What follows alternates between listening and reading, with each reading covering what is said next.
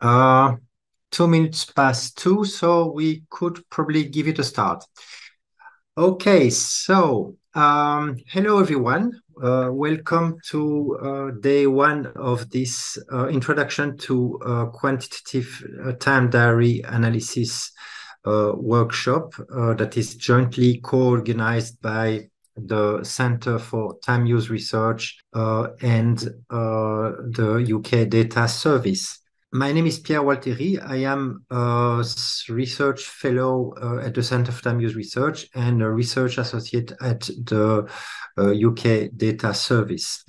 Um, we are going to go through um, a number of things today, but the, the first thing I wanted to uh, check with you is that you have uh, signed the, lic the licensing agreement so that you can use the uh, MTUS data that we are going to uh, practice uh, to use for for practice exercise later on. Uh, so if you are if you haven't, uh, please uh, do it now. I am going to share again the link in the chat. if I find the yes. So I am sharing this again. So that is the form that you need to fill in order to be able to uh, use the data for the exercise. Uh, it's, ah, yes, it's here.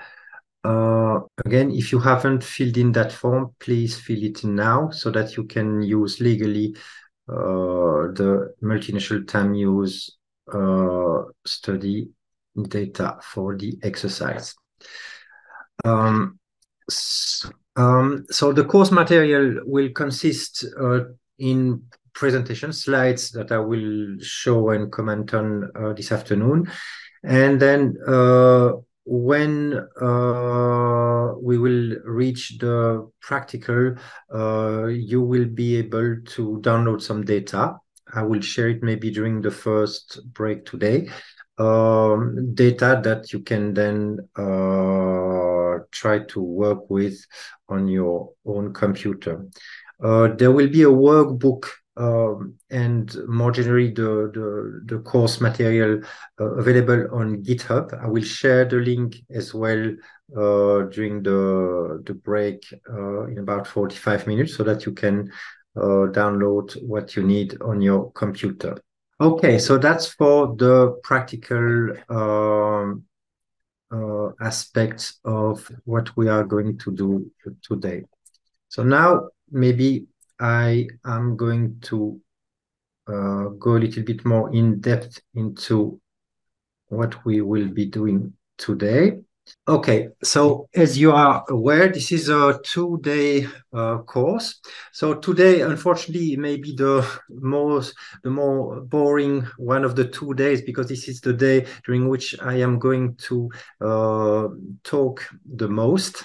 Uh, it's uh, unavoidable that uh, some uh, some background and um, some uh, maybe milestone of time diary uh, research um, is um, part of the of what uh, what is being taught to you today. Uh, but we will promptly move to more practical hands-on sessions in which you can yourself discover and play with time diary data. Today, as I said, we are going to, uh, I, I, will uh, probably spend uh, uh, the first session uh, mapping out the origins and milestone of time diary research. And then we'll have a short break. And then I will uh, talk about uh, more uh, specifically the structure and design of time diary data as it is available in most common time diary surveys. And then the last session, and maybe if I spend less time uh, during the second session. Uh, we may start during the second session. We will start uh, computing simple time use estimates. Uh, next week, we will uh, mostly spend our time uh, on the laptops. Uh, computing a little bit more advanced data visualizations, tempograms, uh, looking at specific uh, time diaries that are called work schedules, and uh, also um, uh, examining issues around data quality and weighting. And if we have the time, we'll do also some uh, attempt at multivariate modeling using uh, time diary data. So this course is tweaked or is uh, targeted at intermediate users. So we will be using uh, R for the demonstrations, as well as assuming some basic uh, inf- uh, knowledge of statistical concepts. however, we won't i won't have the time to uh, explain uh, issues or how to use r. So if you're not familiar with r uh, bear in mind that uh, yeah we'll have the time maybe after the session to uh, try reproduce what i will be demonstrating. However the, the syntax that i'm using we, is certainly not uh, very difficult. Okay so that's all for the this starting point. Now I will jump immediately into the first uh, presentation. So I am assuming that everyone can see this properly. Sh give a shout if you have issues uh, visualizing the slides. Uh, if you have questions about what I'm going to talk about during the presentation, please uh, add them to the Q&A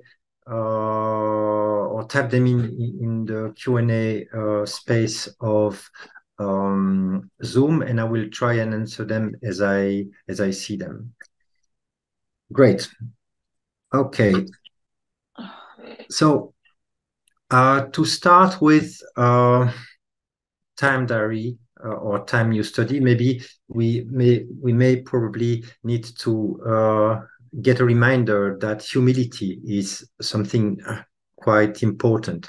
Time maybe um, uh, by comparison with other things, we other phenomenon we are trying to measure, capture with quantitative social science is maybe the ones that is that lends itself the, the least easily to such uh, quantification.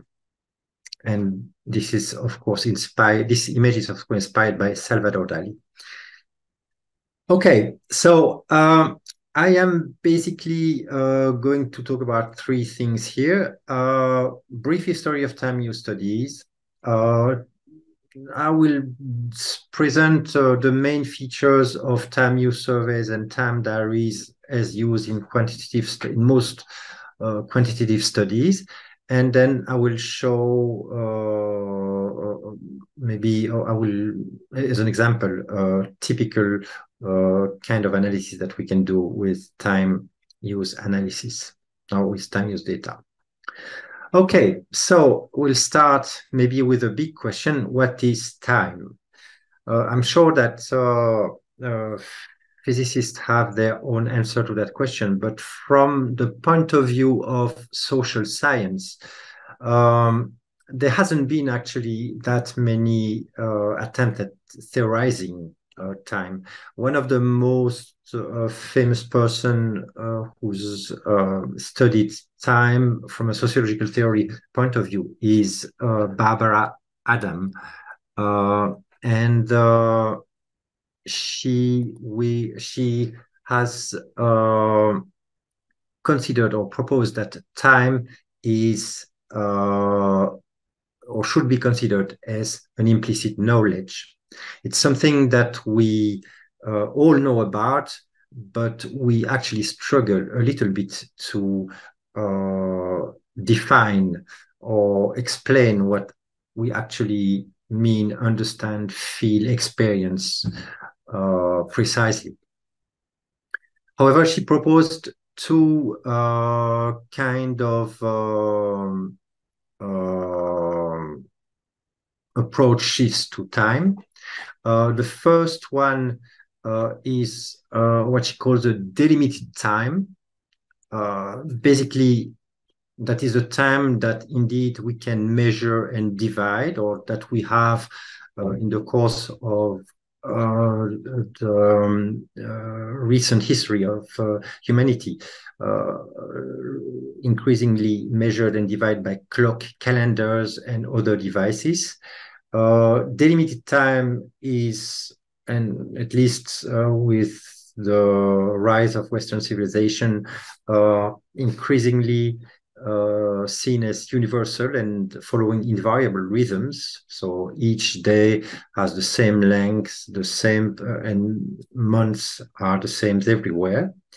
And also the idea that time is a limited and uh, often commodified resource, especially, of course, in capitalist society, in which increasingly, again, speed and optimization of time, doing the most with the time we have, is um, valorized.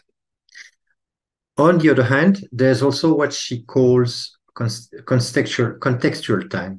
And contextual time is basically the time that we experience uh, in, in a more of an implicit way without being really able to uh, uh, measure it very precisely as we do with a clock uh, and it has different aspects. So there, there's uh, there's the idea that uh, there's a natural dimension to it. We all experience seasons, we all experience planetary cycles, and we all we are all subjected to it.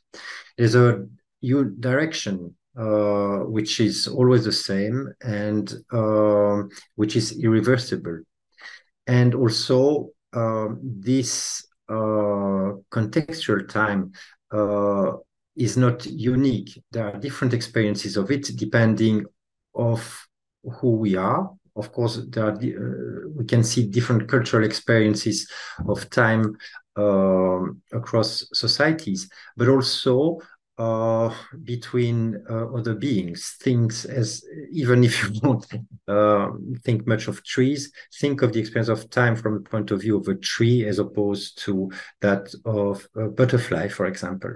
So all these beings have different experiences of time.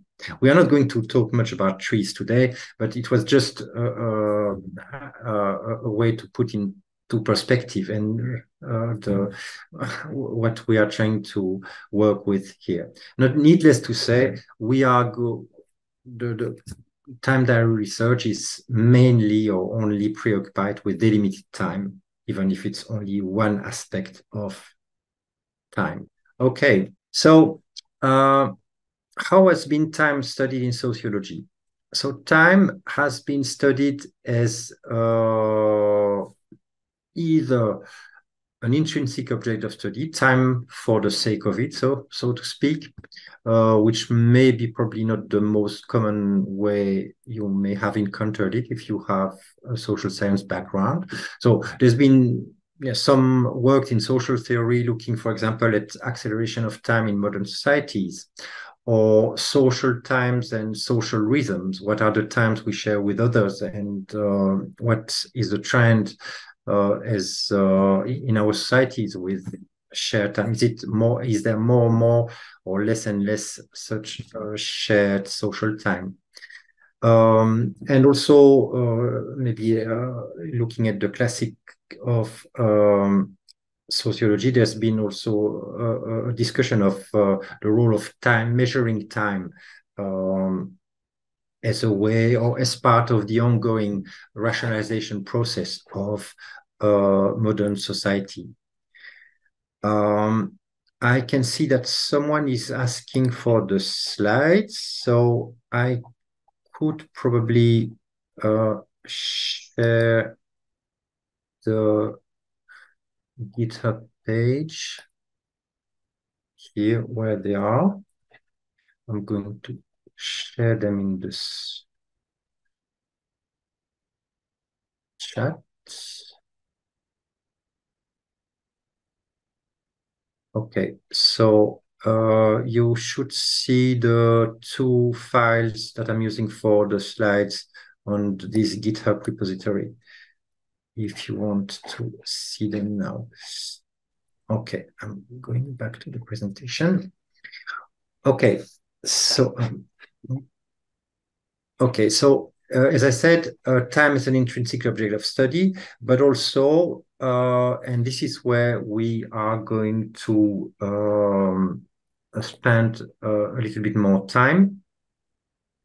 Uh, time as a tool to investigate social, other social issues. In a way, time as an instrument. We study time as a way to uh, get a better uh, understanding of other social issues. You are, I'm sure, aware of uh, what I mean here. So, a broad area uh, in which a lot of time has been spent uh, looking at time is productivity uh, organizational studies. How can we maximize the production or productivity of workers? Uh, one of the precursor of such um, uh, study of time were in the 1920s the scientific organization of labor so people who were trying to uh, time every single gesture uh, workers were doing in or, in in factories, in large scale factory manufacturing factories. Uh, there are more subtle ways of looking at that nowadays, but this is still a preoccupation uh, in, across some uh, areas of organizational studies. Um, time is a way also to look at inequality. So uh, there's the issue of time poverty. Uh, people who are able to buy other people's time, who themselves may have uh, not time or not enough time to uh, do uh, in, uh, the essential of uh, reproductive work uh, in in their life. And also an area that has been written a lot about in relation to time is the gender division of labor within the household. And we'll definitely come back to this later uh, but for a long time, uh, the, these uh, attempts or interests uh, were limited to uh, anecdotal evidence or, or, limited evidence because of a lack of systematic, large-scale empirical data. So what we can see, and it's partly uh, mirroring what I've just said now. Um, there's been a growing interest, or there was a growing interest uh, for uh, systematic study of time, of the way people spend their time uh, across or alongside uh, the 20th century. Um, so uh, I, I, will refer you to uh, uh, the book written by Gershuny maybe uh, later on for if you want if you're interested in the details but just a few milestones. So in the early 20th century one of the first systematic time diary study that uh, could be identified was one looking at peasant households uh, in Russia uh, in which uh, people were uh, already trying to understand uh, how farmers were spending their time in order to uh, help uh, modernize agricultural production. similar studies, but with another scope, were carried out by the Fabians um, in London uh, with a view to uh, try and understand uh, how people in poor and women who were uh, seen as uh, uh, mostly responsible for the household at the time, how women in poor households were spending their time and how um, maybe things could be improved for for for them by amending the way they spend their time. Further down the road, uh, similar studies were carried out by Soviet economists uh, at the same time as the scientific organization of labor was uh, progressing in capitalist societies. Uh, the US Department for Agriculture, also USDA, uh, spent some time looking at how farm workers, especially around the time of the Great Depression, spend their times, and also later um, educated uh, women. And so it was the idea of uh, understanding changes in uh, gender roles in the household. Uh, in a more uh, market research type of approach, um, the BBC conducted uh, listener surveys uh, as, as early as I understand uh, in the 1930s. Uh, the the view the, the objective was to uh, obviously see how people would spend their time in order to best tweak and tailor the programs um, that were uh, being produced. Uh, and not to mention uh, the pioneering mass observation studies that was carried out in the UK, in which uh, everyone or a large portion of the population was asked to uh, fill in a diary of what they were doing, uh, of what they did during a single day. So just an example, a series of anecdotal, but maybe also uh, uh, exam, yeah, examples showing that uh, there's been an increase in interest for um, time diary, uh, time diary, the way people spend their time over the course of the 20th century. So, as I've already said, we want uh, people did that, or organizations, governments, uh, corporations did that in order to better understand uh, and monitor economic productivity uh, to better understand and control labor force uh, behavior, um, sometimes also to feed into uh, social uh, and in the case of socialist economy, central uh, planning of the economy, but it was not just limited to uh, um, socialist or, or, communist economies. Yes, understand consumer behavior, uh, investigate uh, social issues, as uh, was the case of the Fabians. And if we want to really, really get to uh, the founding father of sociology we could do we could see that as a, as a part of uh, the continued rationalization process controlling improving optimizing uh, modern societies. Okay but now uh, enough of sociological theory. Let's look at uh, the, um, the actual empirical studies as they developed uh, over the, the course of the 20th uh, century. So the really uh, important milestone uh, in the development of time diary studies uh, was Alexander Szalai's The Use of Time. Some of you may have heard of it. It was really a pioneering studies conducted in the 1960s. You have to imagine, so it was in the middle of Cold War, uh, but still this uh, researcher who was actually a mathematician, Hungarian mathematician, decided to uh, set up a consortium of a research team in 12 countries on both sides of the Iron Curtain and uh, with a view to uh, study the way uh, their uh, or people in mostly urban households spend their time. Uh, it is pioneering because of this uh, large-scale multinational approach, and it is also pioneering because this is how the now broadly followed uh, structure of time diaries uh, was uh, invented. So, in time diaries in which uh, people are asked to uh, fill in diary, in which they, uh, yeah, they look at um, what activity they do at each time point, where they carry the activity, with whom for a 24 hour period. Uh, so that was a study carried out in the 1960s, and the book, uh, The Use of Time, was published in the early 1970s. Um, the a second important milestone in the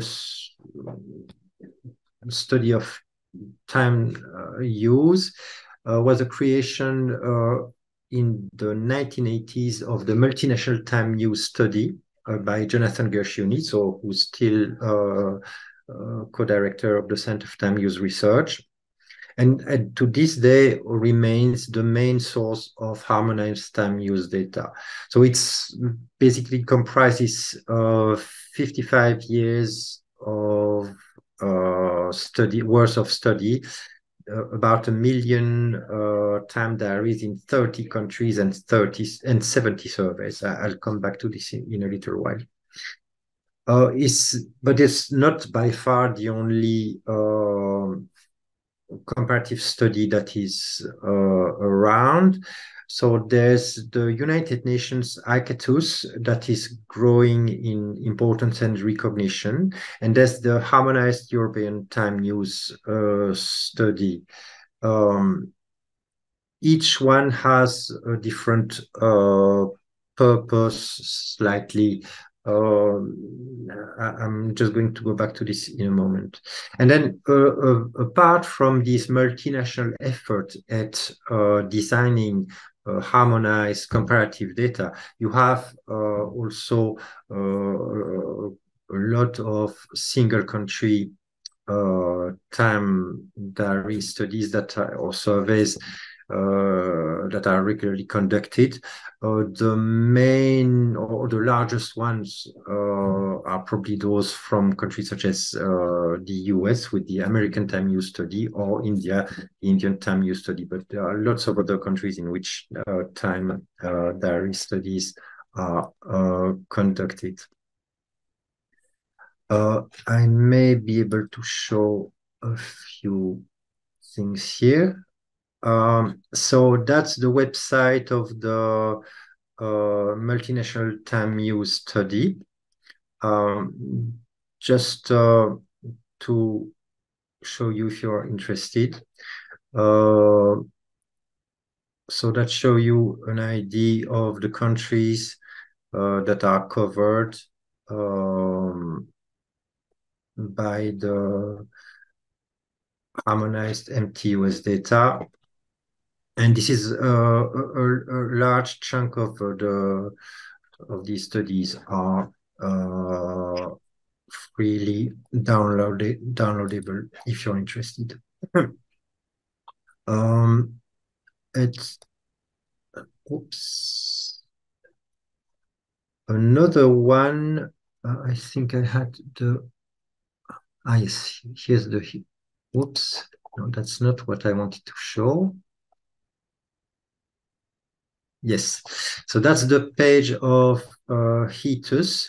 So HETUS is basically the EU or the European Union's uh, version of harmonized uh, time use survey. It's a series of definition about common norms that uh, EU member states have to follow when producing um, time diary data. And I think there's a requirement for EU member state to produce, yes, um, time use studies at least every uh, 10 years, which increasingly gives rise to an interesting uh, uh, depository or repository of uh, comparative data. Okay. Um, yeah, so I've just shown uh, the the web page of the MTUS. So yeah, this is just uh, uh, uh, a focus on uh, the most important fact about it. I'm not going to spend more time on that. So now, okay, so we've had uh, a broad overview of what uh, kind of time use diary uh, uh, studies have been uh, conducted so far. But uh, what do a time use survey actually look like? And I will take the example to talk about this, the example of the 2015 UK time use survey because it's a relatively good quality study and also it's closer to us. So the 2015 UK Time Use Study, whose data you can download uh, freely from the UK Data Service, is made of about uh, 16,000 diary days um, produced by 10,000 uh, respondents in 4,000 households in the UK. So everyone in the household that were sampled uh, and who was uh, age eight and above could fill in the survey. Uh, in order to have data uh, that's representative for the whole year, so uh, it was uh, the survey was conducted throughout the whole of that year, so not just a couple of weeks or months. Um, and maybe in a way to have a first understanding of what time diary surveys are about, it's basically made of two components. Um, on the one hand, there's uh, an individual or person level uh, survey in which the traditional questions people are asking surveys were also asked to respondents, such as what is your age, what's your job, etc., etc. But also, indeed, a time diary. So, and for the time diary, uh, people were asked to fill in uh, as minute, if they wanted, uh, as minutely as uh, a 10 minutes in 10 minutes interval, uh, what they were doing uh, over two 24 hours time periods. usually, it means one day at the weekend and one weekday, uh, both of which randomly uh, allocated. So in from the point of view of the time diary, therefore the unit of observation is not the person anymore, but it's the day.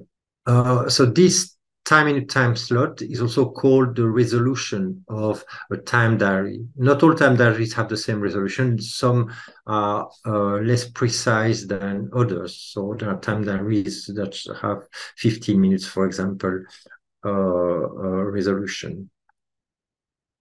So now, what is recorded in time diaries? So the first thing that's being recorded is, as uh, I'm sure you are already aware, uh, what people are actually doing. So what their activity is. And usually most time diaries uh, are made of uh, or asked about the main and secondary activity. So what are you doing, but if you are doing something else at the same time, what are you also doing? Main, secondary activity. I'm eating dinner and watching TV, or I am um, talking to uh, my child and at the same time uh, as uh, stroking the cat. Second uh, series of information is about the context of uh, the activity. Uh, so where was it taking place? Was it at home, at work, somewhere else, indoor, outdoors?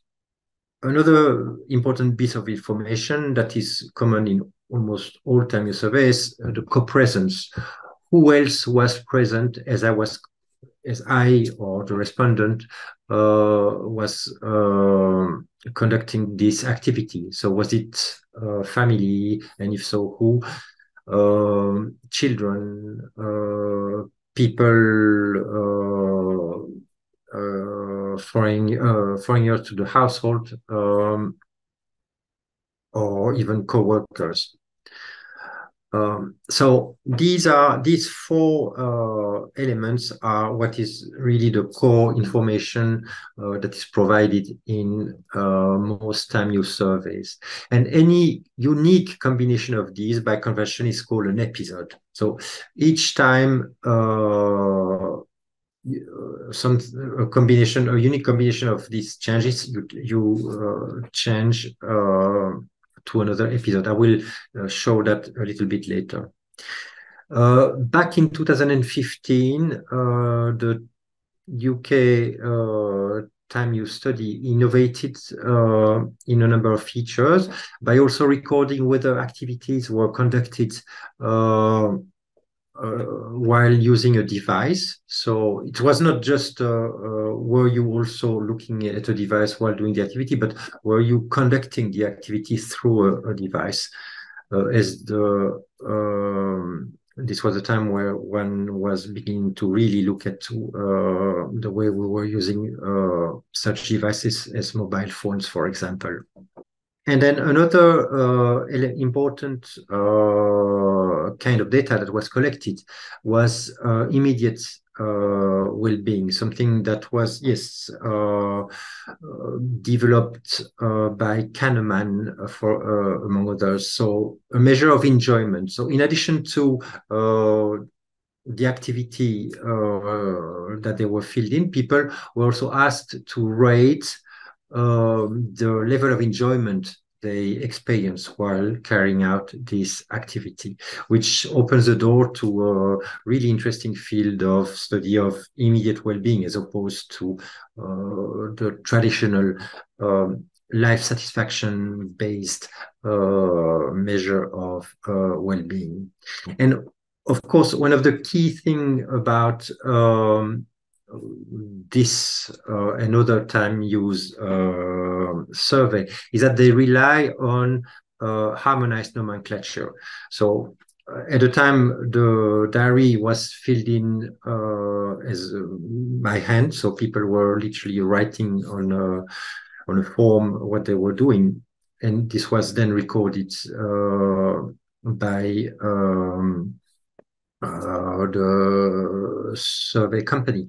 Um, but um, they were following or uh, by uh, recording the the activities recorded by people they were following a harmonized nomenclature which was uh, indeed the harmonized european uh, one HETUS that i've uh, already mentioned so that's what uh, diary pen and paper diary looks like so and it's indeed uh, drawn from the example that were provided to the respondent of the 2015 UK Time Use uh, study. So you can see that it's basically like a table which each 10 minutes uh, episode or 10 minutes uh, slot, sorry, uh, appearing as a line. And each one of the dimensions uh, of a time diary that I've presented appearing as a column. So that's the column for the main activity here, column for the secondary activity. Uh, that's the device column and uh, co-presence, etc. And you can see at the uh, that the last column with uh, uh, range of from one to seven is where people were um, asked to rate uh, their level of enjoyment of the activity they were carrying out. So uh, something interesting here, uh, which you may have already uh, understood, is that obviously the fact that we have a 10 minutes resolution doesn't mean that people uh, fill in something new every 10 minutes. Some uh, of the the episodes uh, last more than 10 minutes or the activity lasts more than 10 minutes. Um, and you th there can be a difference in the degree to which respondent uh, uh, are uh, conscientiously feel their fill in their time diary. So we have people who are a bit lazy and who don't feel uh, fill uh, many uh, activities uh, in their diaries. For example, uh, six or seven. I just got up, had breakfast, went to work, etc. Uh, or by contrast, people who are very very um, detailed and provide uh, sometimes 25 plus um, episode and activities uh, in their time diary. So what are the common uh, estimates that researchers uh, derive from time diaries? So the most common ones uh, are uh, as I'm sure you can gather, the time we spent on activities, the duration of, of activities. Uh, and that's uh, of course uh, that opens the the way for really interesting comparison between genders between social groups of the way uh, of the duration of some uh, activities by comparison with others. Uh, then there's the sequencing. That is the order through which they take place throughout the day, um, which can be also uh, an interesting field of study. Think about meals, for example. And then you can also look at the probability of occurrence of activities on typical days given the characteristics of some people. How likely are some people to be working on a Sunday, for example? Um, and then, uh, yes, you can also, uh, as, I, as I've said, compare the importance, for example, in terms of occurrence or amount of time spent, uh, compare the importance of activities uh, between people. And of course, change over time um, between surveys uh, since we now have been collecting time diary data for some time now. So this is maybe a, a, a very um, basic example of what you can uh, the, the, sort of thing you can uh, look at or research with time diary data. So what what is it? So it is uh, presenting some data for the UK across uh, 50 or a little bit more than 50 years time frame showing uh, the amount of time respectively women and men uh, spent on four broad uh, types of activity sleep and personal care, leisure activities, paid work, and uh, unpaid work. And what uh, does it show? Well, it shows maybe the first thing I don't know what comes to your mind. The first thing that came to my mind when I saw that for the first time was things look pretty stable. Mm. We don't seem to have spent to to have changed very much uh, in the the amount of time we spend sleeping or even on leisure and recreation activity. On the other hand, there's a really, really major difference uh, in the way uh, back in 1961 uh, men and women spend their time in paid work. And of course, there's a the major change um, here is that men spend less time on paid work than they used to uh, women spend more time, clearly more time in paid work than they used to, but that is not fully uh, compensated at all by a decrease in the unpaid work uh, that they do. Um, so yes, just a, a write-up of what I've explained here. Um, yes, so that's um, uh, basically the the conclusions I've just um, I've just described. And maybe yes, to to the, the fact that we are uh, looking at uh, activities over 24 hours mean that whatever we uh, look at, it will always add up to 1440 uh, minutes. Okay, so uh, I will now present another type of uh, analysis, which is more, which looks more at uh, the sequencing of uh, activities throughout the day. And this time we are using uh, a slightly more complex um, typology of activity. We are moving from four activity uh, to uh, eight activity. Okay, so that's uh, what is called a tempogram. And the good news is we will learn next week how to uh, do something like this. So what does it show? The x axis here, the horizontal axis show time of the day.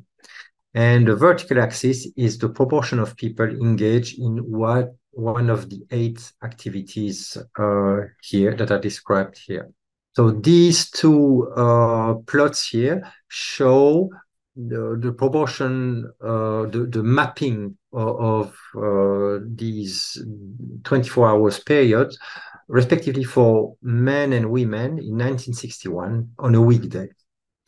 And of course, you can see that uh, the main difference uh, that um, was really visible is the the way um, women were doing a lot of or were spending basically half of their day um, during the daily hours, uh, day, daytime hours, uh, doing uh, housework, cooking, cleaning, um, as opposed to uh, men almost exclusively uh, doing uh, paid work or, if younger, education.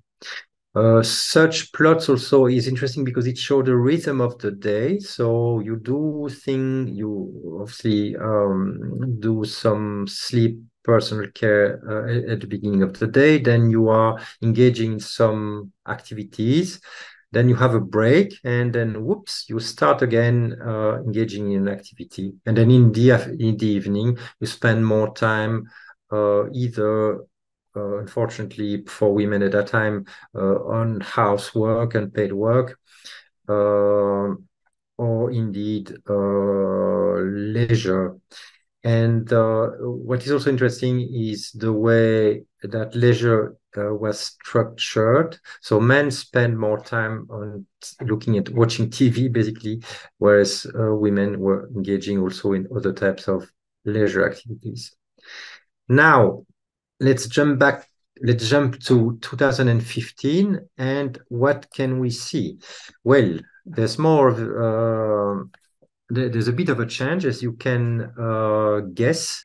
Um, I won't go through uh, through all the details here because I'm running a little bit behind but uh, I think the main uh, lesson here is that if there's still a discrepancy between the amount of time and and the the, the propensity for men and women to be engaged in paid work at any point things are the differences are narrowing. So that mirrors in a way uh, the other plot i showed earlier uh, the, the, the, vertical bar plot. Uh, the other thing is the as you can see the, there's been a, a, collapsing a little bit of the needs uh, bumps that we could see for 1961, which means that the the day of the typical days of people are becoming more and more heterogeneous. People having invariably they, their break at lunchtime or the same for the same amount of time, etc., etc., is uh, is decreasing. And also, you can see here uh, that uh, leisure takes place uh, at also other times of the day uh, than just uh, the, the, evening narrowly defined as was the case in 1961. Okay, so to summarize, the, this overview uh, I've shown that over the course of the 20th century, there's been a, a clear rise of interest for trying to understand the way men, women, and household uh, spend their time. There's been an increasing uh, time diary data collection, especially from the 1960s onwards. And we have now uh, a significant amount of data that allow us to uh, do some interesting comparative uh, time use research. So time diaries, as I said, record primary and secondary activity in their context, location, presence. And uh, the first uh, uh, observation we can have from looking at some of these comparative data over time is that we can see both stability and change in broad daily types of behavior uh, and the big area of change being uh, the division of paid and unpaid work between genders. So I will stop this presentation here. And maybe I should stop sharing now. I am going to uh, maybe uh, move to the second presentation. So in which we are really uh, going to uh, look a little bit deeper into uh, the structure of time diary data. And you're going to see that some of the uh, questions you were asking are uh, hopefully answered in uh, this presentation. Okay, so uh, given that uh, this is a type of study with uh, a number of specific um, data and uh, uh, recording. So there's some uh, specific vocabulary that is used usually by time use researcher. So to look at three key notions, activity, and uh, we've just talked about that.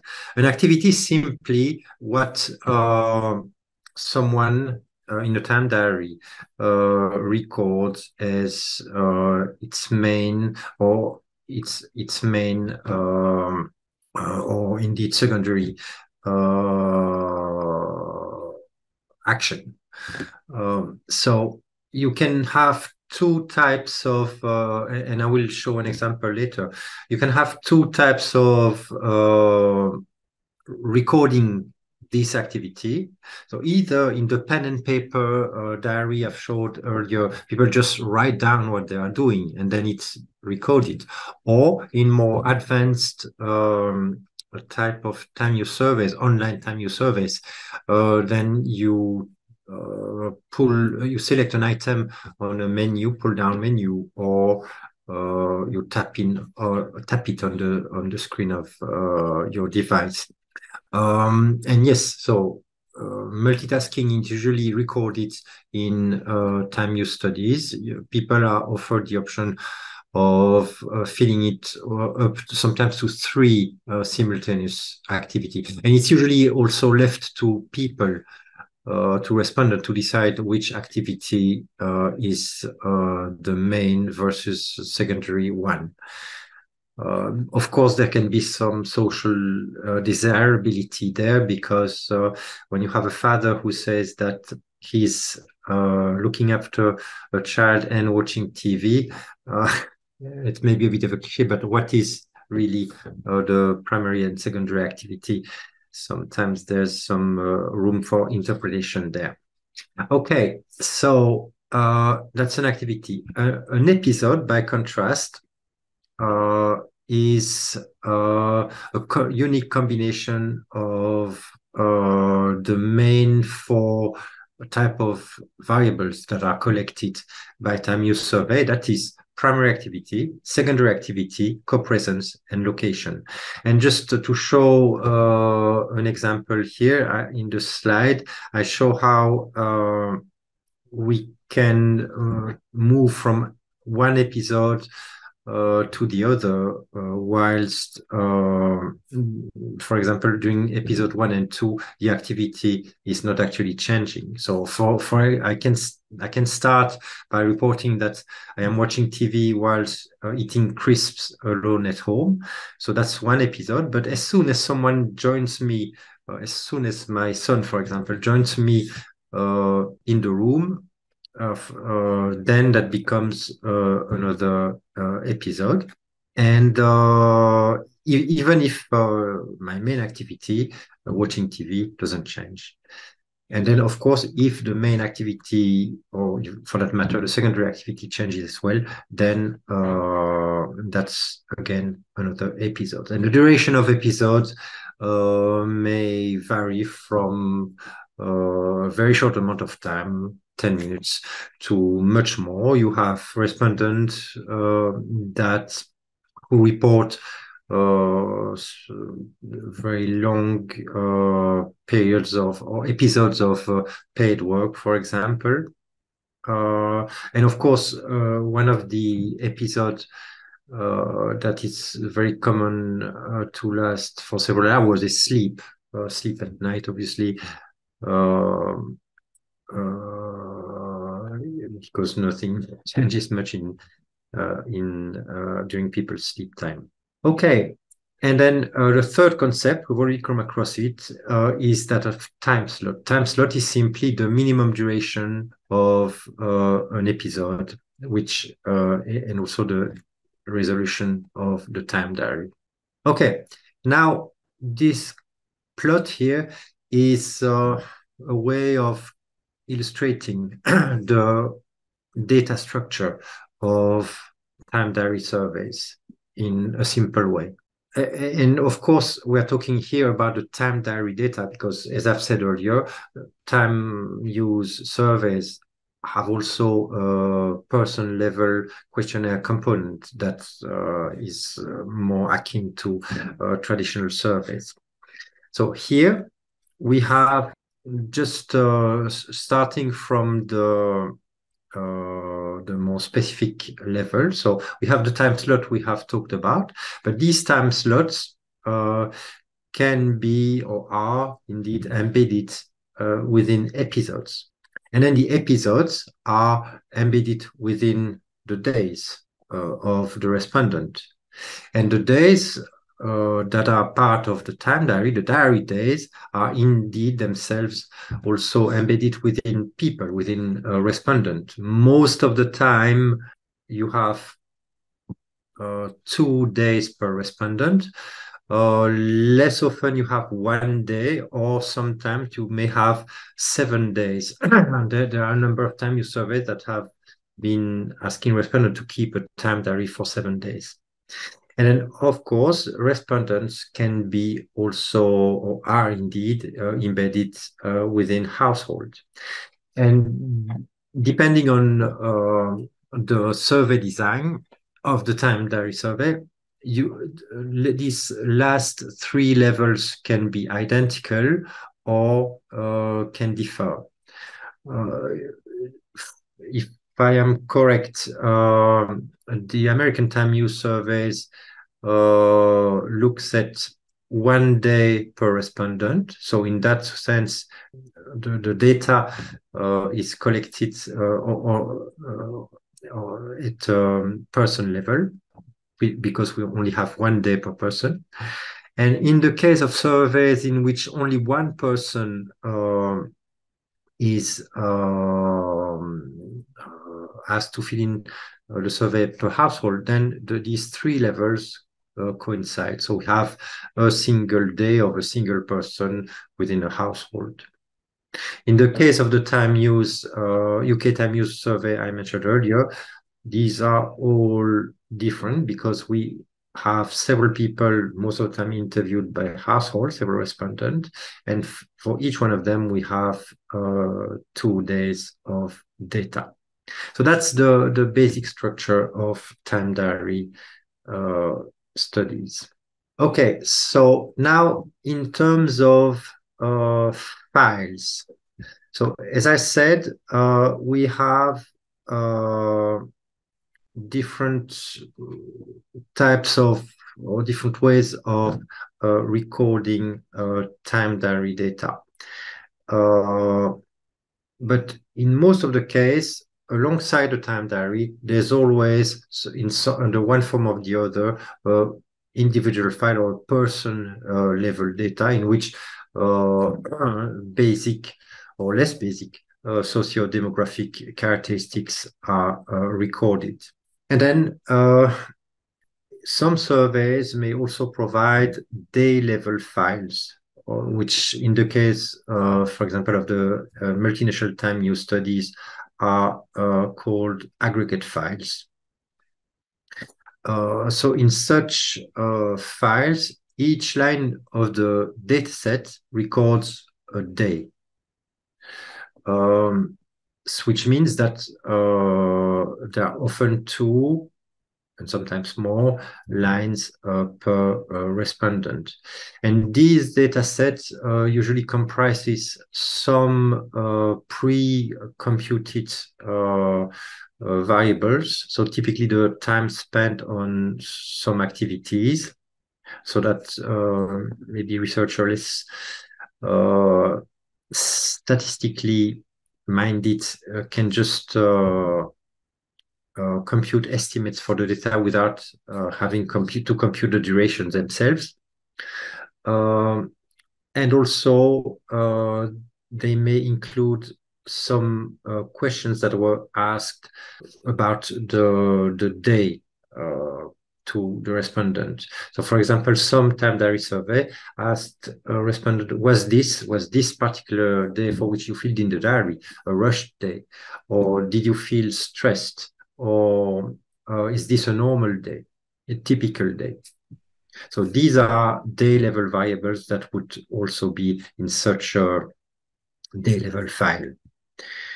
Uh, and then uh, all the version of uh, the data of time use data may also include uh, time diary data in wide formats. Uh, I will come back to this later. Okay, so the the most so two type of file that one comes across often when downloading time use data individual file normal uh, survey data or classic survey data and then day level file with some uh, pre-computed aggregate uh, variables as well as day specific information. Okay and now a third type of uh, data structure and file that uh, you will find yourself uh, uh having to deal with uh, when downloading time use data or time use survey is episode level files in long format. So the long format simply means that uh, the level of observation, by, by, contrast with the day level file, the, the unit of observation, the line is an episode. And so therefore you can have, uh, you will uh, have several, sometimes many uh, such lines, rows in your data set uh, per diary day and uh, by extension per uh, respondent. depending on the person, as I've already mentioned, uh, you can have more or less uh, episodes uh, reported on a typical day. Uh, but uh, usually on average, people report 15 uh, episodes. So this file format, this long file format is quite intuitive, but and that's the reason why in older survey it wasn't uh, commonly used. It requires more storage space and computing power than uh, data in the wide format. The wide format uh, is basically a format in which each uh, uh, episode is recorded in as a variable as opposed to a row in um, uh, a data set. So the, the table there shows uh, in a really uh, summarized way what uh, an episode uh, looks like, or an episode uh, uh, an episode file in long format looks like. So we have episode numbers here.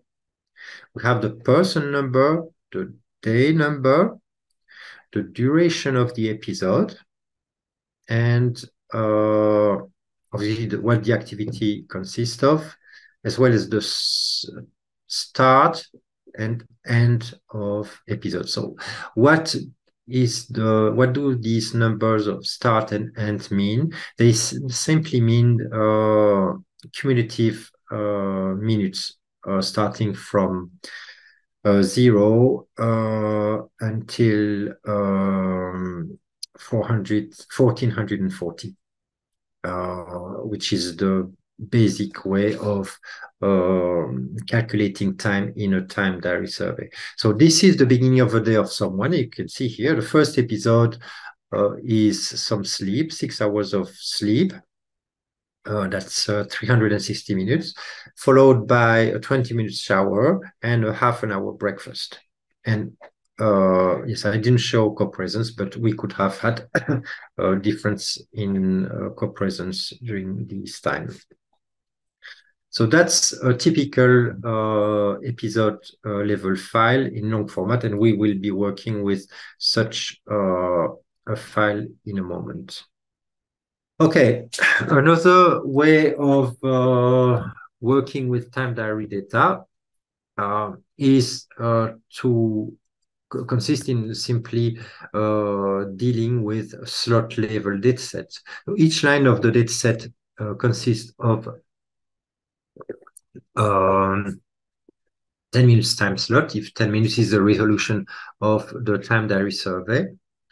Uh, they are not that common because uh, they require a lot of storage, more than episode files.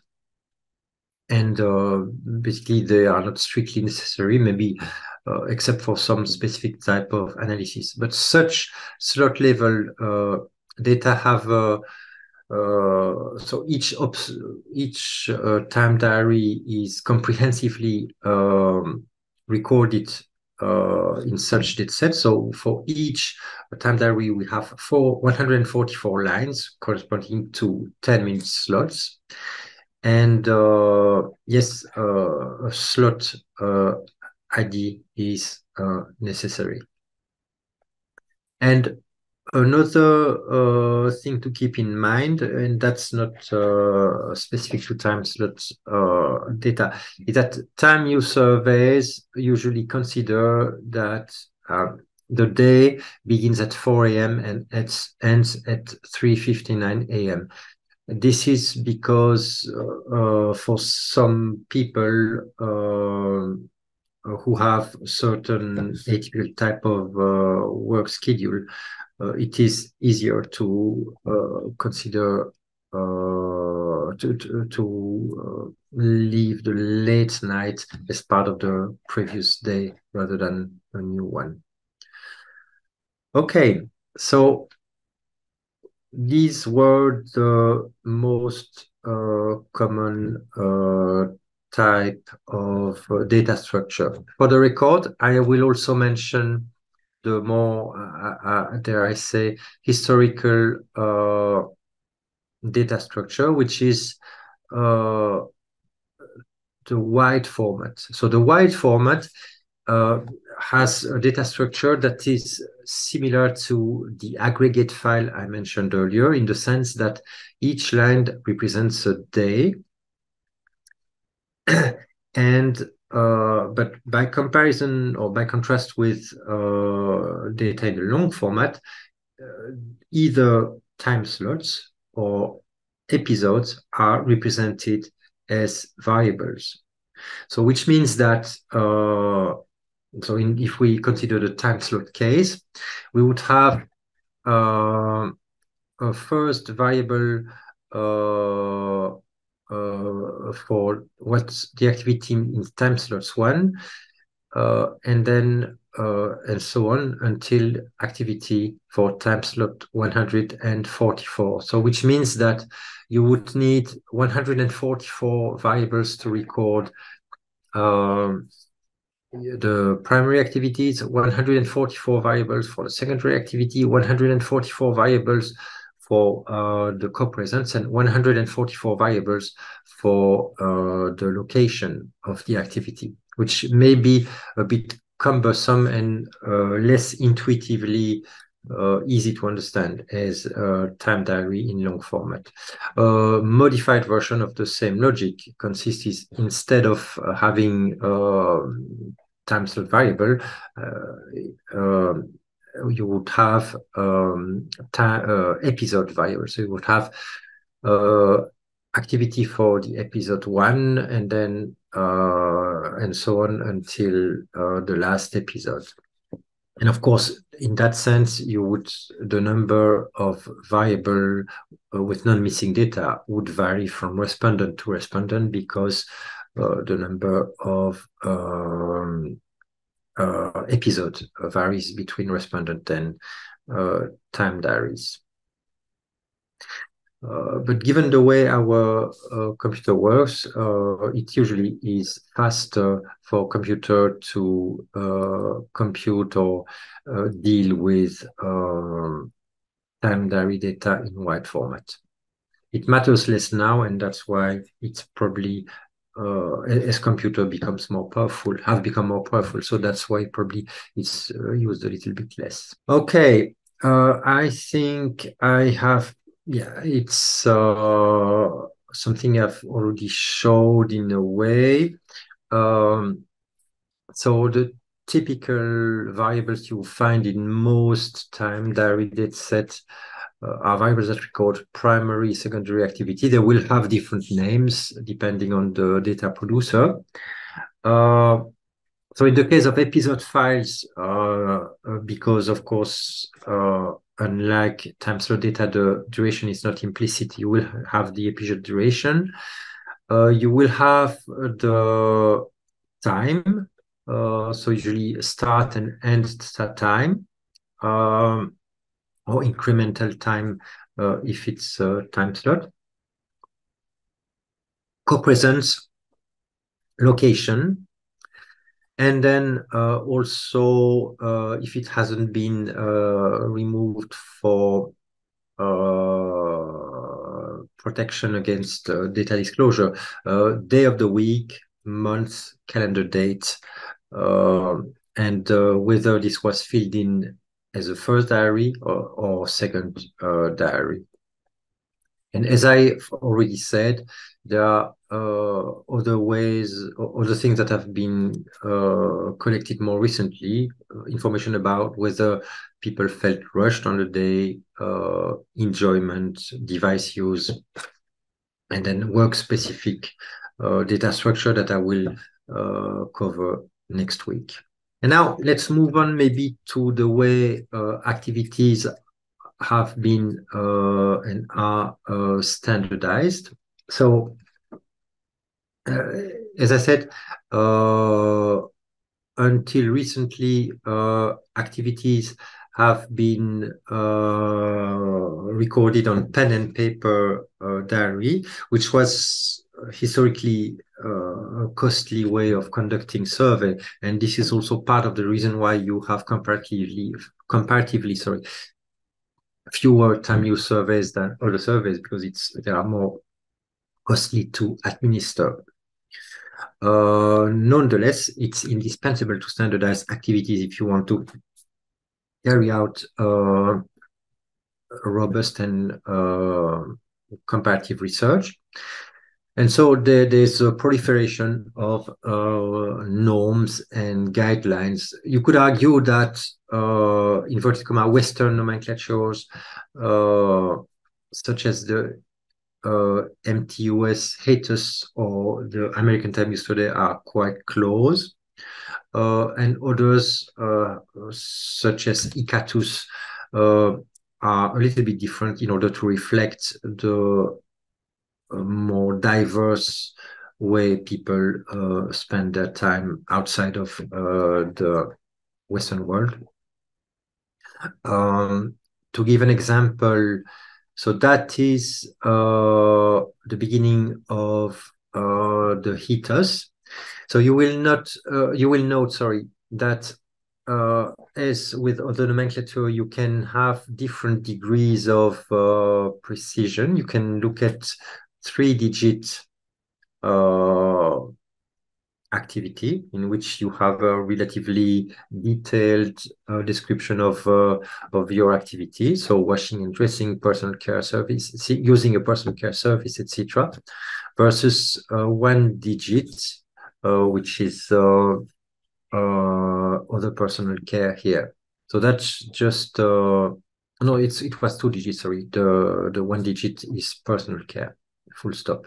So that's uh, an example coming from the harmonized uh, time reoperant time use study.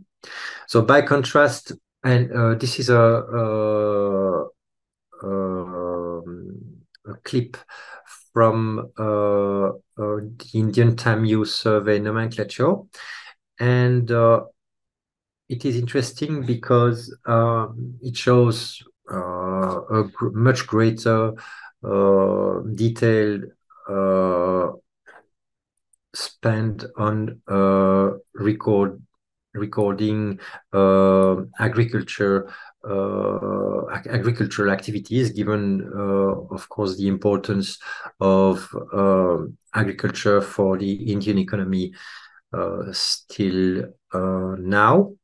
and it is something that you you will not find in um, uh, certainly not in that degree of detail in the harmonized European time use survey, for example. Uh, there is a question uh, from Carol. So, what things would be included in personal care services? Uh, well, I suppose that uh, that would be things where you pay someone to uh, look to to take care of you. For for example, that would be uh, probably going to a hairdresser uh, and things like that. Uh, or if you are an elderly person and you have a, a paid for care at home, that would also be uh, under that category. Uh, if you go uh, through the, the, the original document uh, of the HETUS, uh, th there's much more detail than obviously I'm uh, I'm giving here. Okay, uh, then another example from the time use, um, the American time use survey. and again, the the ATUS has uh, this interesting characteristics that it's it's much more detailed than uh, the European versions or the MTUS version for that matter. So you can go as far as kissing hello goodbye to someone, meditating, which is something you uh, usually don't find in most of the time you survey. So it's it has a really uh, narrow or rather specific, fine-grained uh, definition of activities. But of course, uh, the, it supposes that you will need to have enough uh, respondents who are filling in for uh, that uh, level of details in their uh, diary.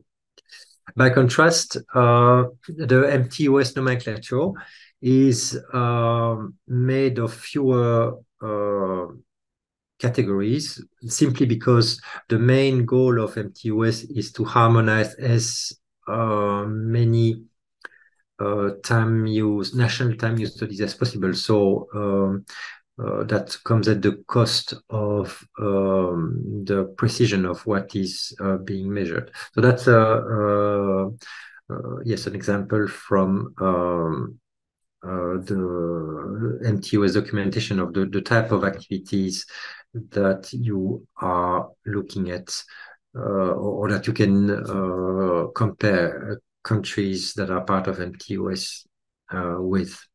And uh, of course, I, I, suppose there's as a as time use researcher, there's a trade-off to be drawn between um, really specific high quality data, which you will probably only find by looking at uh, a single or limited number of countries, or broader, uh, more vague, uh, but also uh, data. But on the other hand, that allows you to uh, compare uh, countries and also maybe countries over time.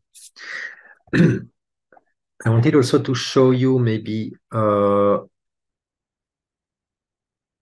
yes, uh, before I move to uh, how to work with data, uh, to show you an example of online uh, time diary, if I find it.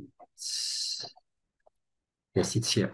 So um, the Center for Time Use Research, um, as well as other research center, have been experimenting with other ways of administering um, time diary uh, or recording time diary survey. So that's just an example of uh, uh, online time diary survey here.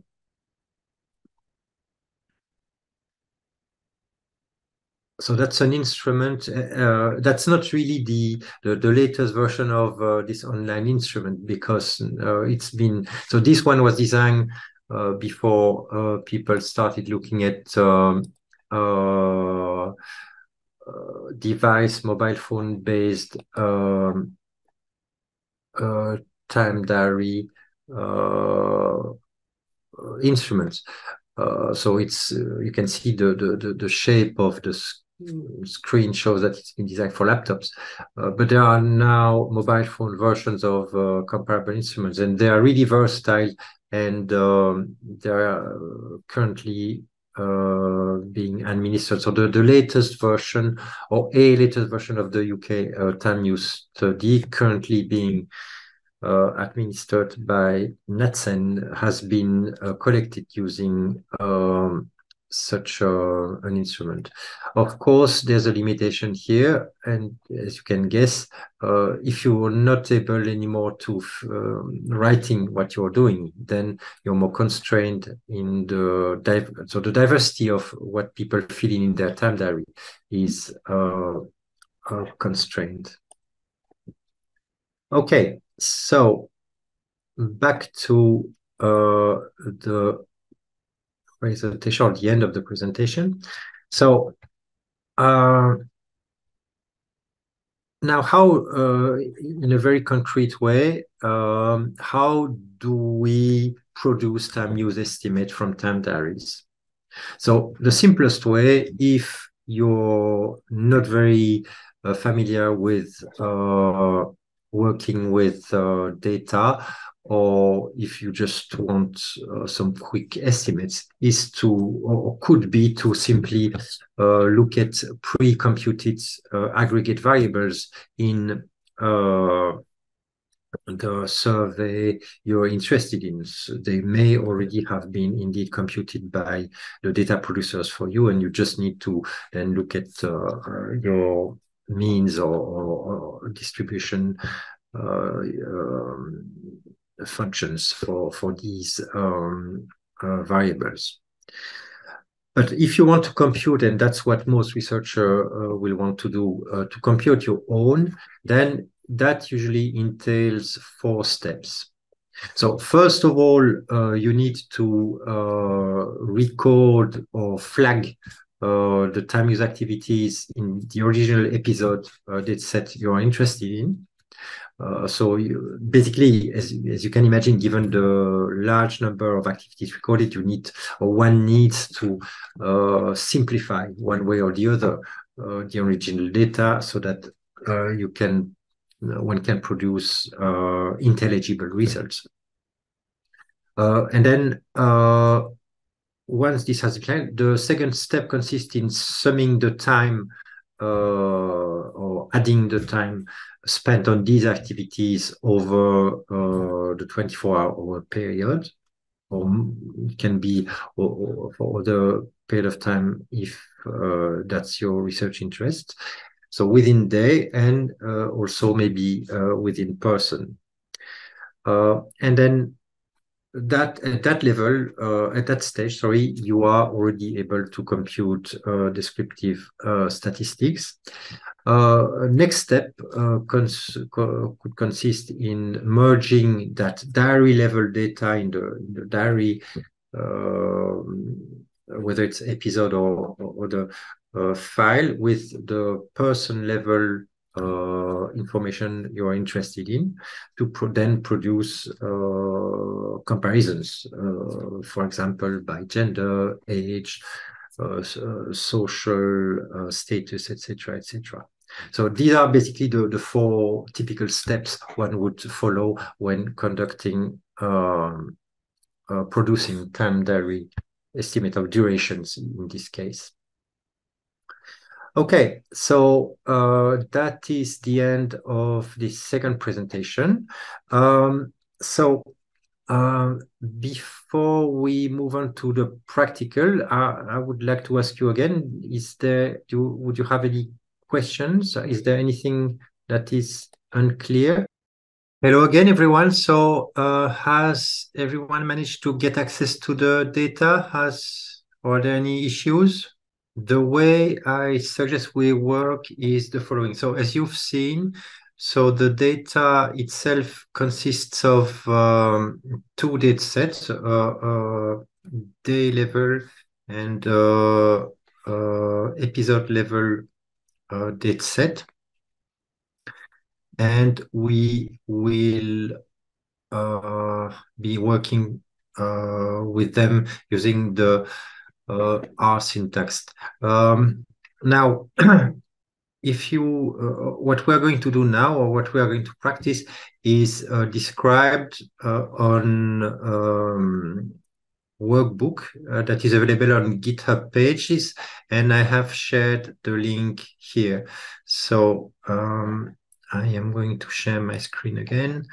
So that is the um, workbook which is basically uh, an annotated R code uh, that uh, I am going to uh, to demonstrate now. um, if you're not familiar with uh, this type of format, uh, each box here, uh, which uh, has the R syntax, can be uh, copied simply by clicking on the little uh, notepad icon here. If you click here, you can uh, then paste it uh, readily into um, our own, your own, sorry, our interface editor. So I am uh, going to demonstrate this using RStudio. And as I uh, said in the workbook, uh, I am just keeping things simple. So I'm just uh, working with a two windows um, version of uh, studio, I'm leaving the the other two uh, aside for now so that we can just focus on uh, the actual syntax and um, the the output. So is uh, is this clear for everyone or uh, are there any issues?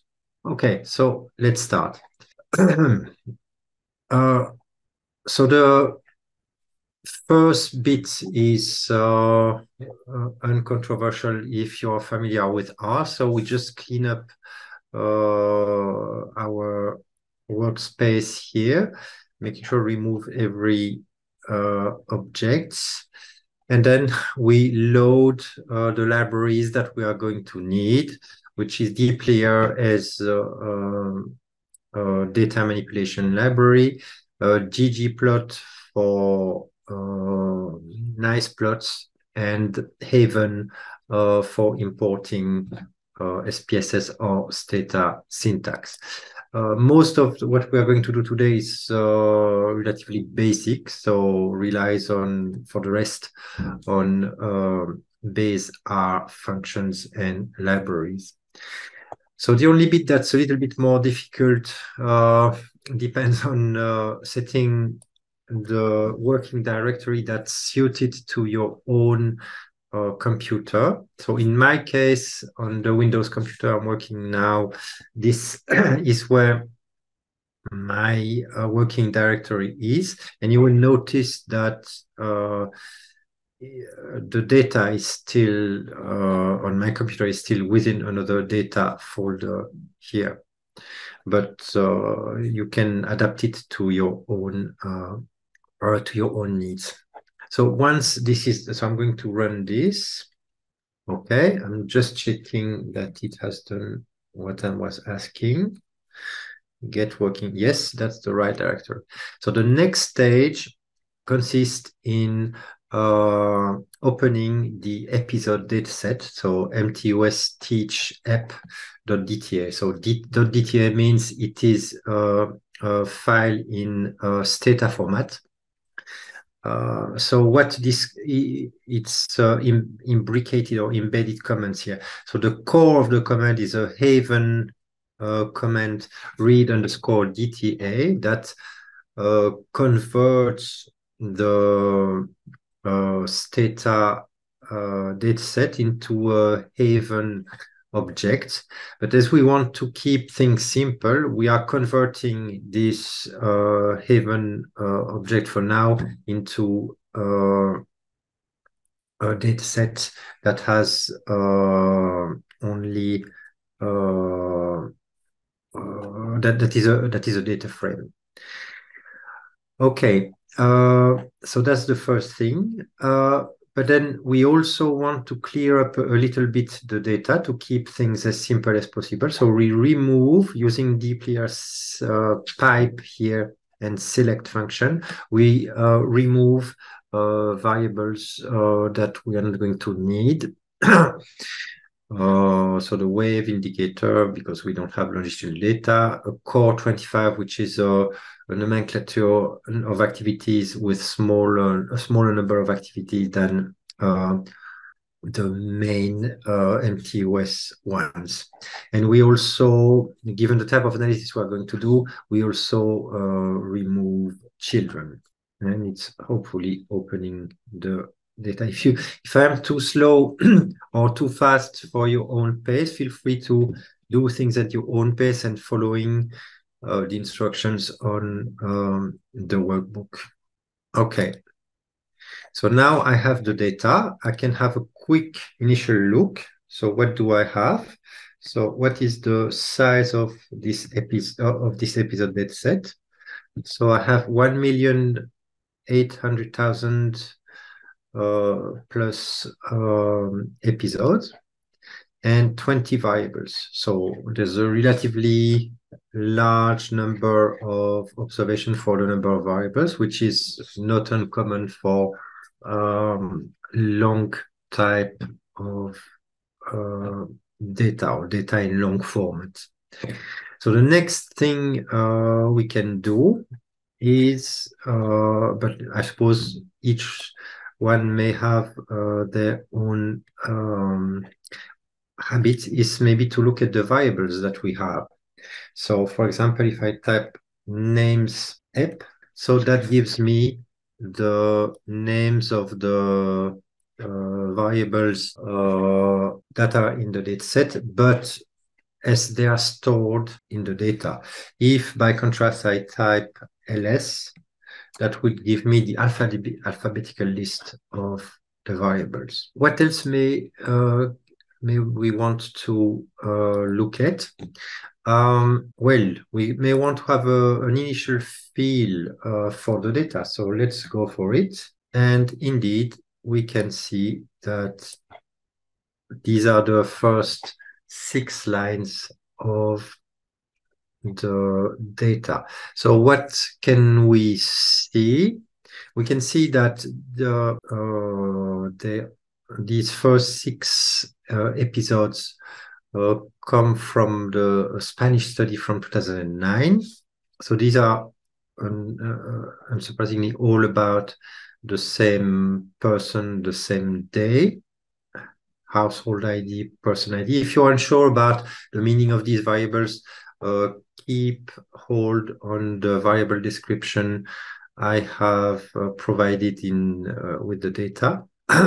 so the year uh, the data was collected, and that requires a little bit of comment here. But just let's go to the main episode variable. Takes a little bit of time because there's obviously lots of uh, observation, and that's just show basic frequency tables of um, observations for the main activity. And even if you're not uh, looking at uh, code book, you can see that it's, uh, most common activities such as sleepings are likely to be coded too, because this is these are ones which have the most, the largest number of observations, and meals as well. Um, so we have that's the main variable. Um, if you're a little bit uh, more seasoned, a more seasoned user of uh, R and Haven, uh, and you haven't converted uh, as I as I've done it here uh, the data frame into uh, or rather the Haven object into a data frame, you may be able to to visualize the data labels as well with plain English labels. Okay, so that's the main activity. I would be curious to see if it's going to work. So Haven offers a way of optionally visualizing the level of a variable or factor variable. Um, so I'm using here the same function as I've used previously on the whole dataset, but for just the main activity and also uh, on uh, uh, look incorporating the label. Using the as underscore factor as opposed to as dot factor, which is a base uh, function, allows to uh, not only convert an existing Haven object into or a variable from a Haven object into a factor, but also to uh, use uh, labels, uh, value labels as levels of the factor. That for, that's for the technical bit.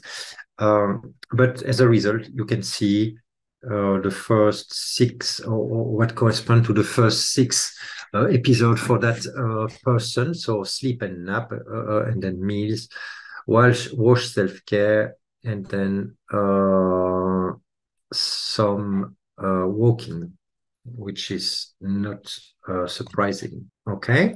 So if you want more details on the variables, you can ask for R to show you its class and you show it will show you the different component of the of that object. So the last one being the actual numbers and the other two corresponding to the variable uh, la value labels and variable label. Uh, for the anecdote, uh, I think there's an option S, if you say that, if I'm correct. Yes. So if you specify both as an option to S factor, it also, in addition to the actual uh, value label, it gives you the actual uh, underlying numerical code. So that allows you to, or that is sometimes easy, uh, an easy way to uh, having some code book information without looking at the documentation. Yeah. So for example, you can see that walking is activity code 43. Okay. Um, now, uh, let's uh, keep on exploring. Um, yes, it's uh, empty with data. So what country do we have? So there are different ways of uh, exploring data. I'm pretty sure you have your own. Uh, and also if you have, if you find better ways of doing things that I'm doing uh, in the practical, uh, that are more uh, uh, efficient coding, and involve more efficient coding, feel free to suggest things as well. I would be more than happy to discover news, new ways of coding. Okay, so let's look at the country in the data. Okay, so that just show uh, the number of observations we have for each country. We want to have a look at the variable it's a character variable, so it's not a factor. So uh, the it's an alphanumeric variable. Okay, and we have uh, a lot of observation from France and Spain uh, and the UK, and a little bit less from uh, the US and uh, Netherlands. Okay, country. But then uh, what else can we look, we may want to actually uh, look at uh, what country we have, or what country data we have for each year. So mm, it's quite simply, I can just copy here the code. Let's just do a cross tab. And again, there are different ways of doing cross tabs in R, but I'll just use that one uh, using the xtab function. So in the xtab functions, you uh, need a formula. Uh, you use you specify your variables using a formula um, format. So you need a tilde and uh, the variables or the, the variable sing in the singular or plural are on the right hand side of the formula object. So here it's uh, cross tab of country by year for the app uh, data set. And we can see that, uh, yes, some data is more recent than other. The data for the UK actually comes from the UK time use survey I've talked about. But uh, you can see that there are different years even for the same study. It's actually recover or, uh, accounts for the fact that even uh, if a study is uh, conducted or uh, is seen to be taking place in a given year, the actual field work may span over um, the calendar year. So the 2015 uh, UK time use study, for example, uh, actually took place, I think, between July 2014 and July 2015, even if it's um, labeled in 2015 study. Okay, so how uh, I, proposed uh, uh, to create a study variable uh, in the data to um, allow us to identify uniquely each uh, study. So I'm creating a study variable, uh, which is uh, the concatenation uh, using the paste function of the respectively country here and survey variable. You could use different things as a separator. It can be a hyphen or just a, just a space. And I can look at the result. And now we have a clearer way of identifying studies. Okay. Now, something else we may want to look at now that we have a unique study IDs is uh, to have uh, a look at the number of days each study uh, encompass. Um, so I'm just doing a cross tab here of ID, which is uh, the variable that records the diary number. Um, so if you have a single day diary, it's a constant for one, and then uh, your if you have a two days diary, your first diary will be coded as one, your second uh, diary day as two, etc. So what we can see from here is that uh, the diary has uh, the number of diary days differs uh, between studies. So we have two countries for which uh, there was only a single uh, diary, so the Spain and the US, and uh, uh, we have um, France and the UK, which have the more common um, two days uh, diary uh, that I've mentioned before. And interestingly, the Netherlands uh, has gone the full uh, seven day, uh, so week long diary. So with a with a seven day uh, data set. Of course, uh, that come having more days comes at the cost of having fewer observation uh, for a given day. So this is why uh, the number of observation for the Netherlands for each day is uh, clearly smaller than uh, for from the other those from the other countries. Okay, so now we have a, a sense of uh, the number of observation we have or the number of days we have. Uh, uh, if you're not very familiar with R, I can show you that there's a easy way of um, uh, getting the uh, uh, frequency, uh, not the frequency, the proportions or percentage for these results.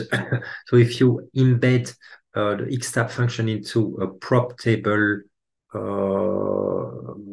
function and uh, specifying the option two for uh, column percentage. That gives you, and I'm multiplying the results by 100 to turn them into percentage. That gives me uh, the for each country the proportion of uh, observation for each day, and I can run that to the to a single decimal to make it neater. And, and in most cases, except for France, the countries are being uh, the days uh, sorry are, have just been observed uh, in a similarly fairly balanced way so uh, you have the same proportion of days uh, per day of the week okay let's move on okay so uh, as i as i said earlier uh, we may or we may not want to uh, uh, look or use the more complex functionalities from the Haven package. But if we do, then we can uh, produce a relatively uh, neat uh, overview of a person's day. So here the code simply recode new versions of the main uh, activity variable, the location, and a simplified version of copresence alone, uh, which indicates whether the respondent was alone or not when she or he conducted the uh, the activity, uh, and as factor with the value labels, the stata value labels, which makes it easier to understand. If I do that, then I can again uh, request uh, head, and that makes it easier to read uh, the day of a person. Okay, uh, there are more uh, illustrations here of um, such um, exploration of diary data. Uh, so that's basically uh, using the print function. Uh, I'm just asking stata. I think the yeah the print function is not strictly necessary if you work on the console version of the data, but it shows the the first 20 rows of the data. And uh, as you can see, at least the first 19 row showed actually the full day of that person. And that gives a maybe a, a first uh, uh, first-hand um, sense of uh, how a day can be uh, visualized in a the day of a person can be visualized in a time diary. So you can see that the person yeah, sleeps obviously, then has some food, uh, does some washing, and then cleans, walk somewhere, uh, prepares a meal, uh, and then engages in some leisure activity, prepare another meal, watches a film or TV, and then go back to sleep. That's a, a schematized uh, day of uh, that person. Uh, now, okay, so this is just an illustration, really. Uh, we there, there, are lots of ways, uh, and I'm sure you you, you know uh, you have you have your own ways of exploring data frames. Now, what I want to uh, demonstrate a little bit uh, or to illustrate in the time that we have left is uh, maybe have a first go at estimating durations uh, and uh, from from that time diary data. So, and in order to do so, we are going to work with um, the way uh, or the amount of time people spend doing uh, paid work. So, I uh, will spare you having to look at the MTUS uh, documentation. The, the codes that or the activity codes we are interested in uh, when looking at paid work are uh, code 7 uh, until 13 covering respectively paid work in the main job not at home paid work at home second or other job not at home unpaid work to generate household income it's travel is part of work work break uh, other time at workplace. Um, so following what I've said earlier, uh, we first need to uh, tag or to recode um, the, the episode level data so that we are able to uh, yeah to to identify uh, these work or paid work episode. And yes i know that uh, in the example here i am using every uh, all the code between 7 and 13 as paid work even if 10 is not paid work but for the sake of this exercise, I will consider number 10 unpaid work to generate household income as paid work. Uh, but feel free to exclude it in your own syntax if you prefer. Okay, so how do I do this? There are different ways of doing it, but in, in a simple example as, such as this one, I'm just using the base R if else function. Um, so I am creating a, an episode level variable here that I call WKT, which takes uh, the value of the variable time, which is the, the episode duration, uh, if indeed the codes of main of the main variable activity codes are comprised between 7 and 13 or zero otherwise. So it's basically uh, a variable that re course, the duration of work-related activities. So I'm just pasting it here and I'm running it. Okay, and let's just check. Yes, so we have a relatively low mean, uh, but it has created a variable. Okay, um, why is it so, why is the mean so low? Well, a reason, a possible explanation is the fact that uh, since we are working with episodes and episodes uh, of many people, uh, not all of which are actually working on the diary day. So we have lots of zeros. So a way of uh, looking at whether the work-related uh, duration we have coded is credible is to only look at the at the summary for uh, those who actually did report some work on diary day. Still, it's quite small. Why is it small?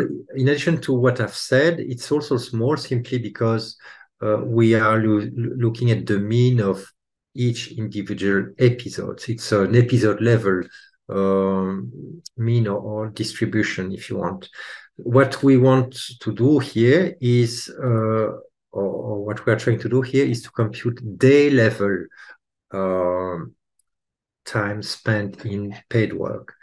So that requires using a uh, little bit more advanced functions of uh, R. So I, I will rely on the group by function from the dplyr package, which is quite a nice uh, function.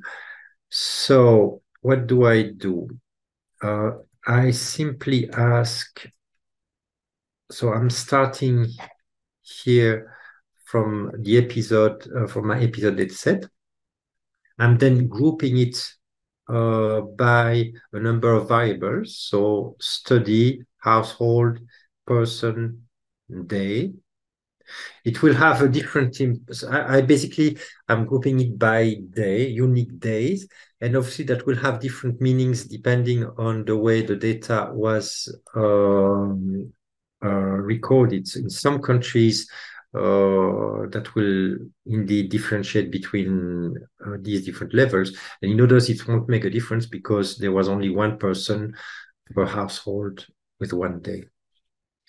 Okay, so if I do this, I am creating, so grouping, and then the mutate uh, command creates a new variable, which I call WKB, uh, which uh, sums uh, per for each specific diary day uh, this duration of paid work that we have tagged earlier. So I'm just running this. That was quick. um, and um, Yes, I can already ask for a quick summary. So, uh, oops, no. Uh, I can ask for a summary of. Okay, so uh, I have done something wrong here. Can any of you uh, identify what I have done that is wrong? Feel free to add it in the chat or in the. Does anyone? Ah, a comment here. No, what, what's wrong here is the fact that I am still working with the episode data, right? So I have computed these. Uh, it may at the end of the day not make a huge difference, but uh, I am actually computing a mean over uh, the whole series of episodes, whereas uh, the mean that I've computed is a day level mean. So I need to tell uh, R that I want the mean computed only for um, the a single day. There are different ways of doing this. Uh, a way of doing this is for just retaining, since we have values of the this mean, uh, this uh, total duration um, for each episode, we we want to retain uh, the first episode for each day. Uh, oops. Oh, yes. Now I need to see how it's called. Uh, uh, uh, uh, uh be eponym though. Ah, yes, I know what I did, what I did wrong. I forgot to specify that it was okay. So I can see here that's uh, slightly different, and that's a correct way of computing a mean of an aggregate variable using day level uh, data.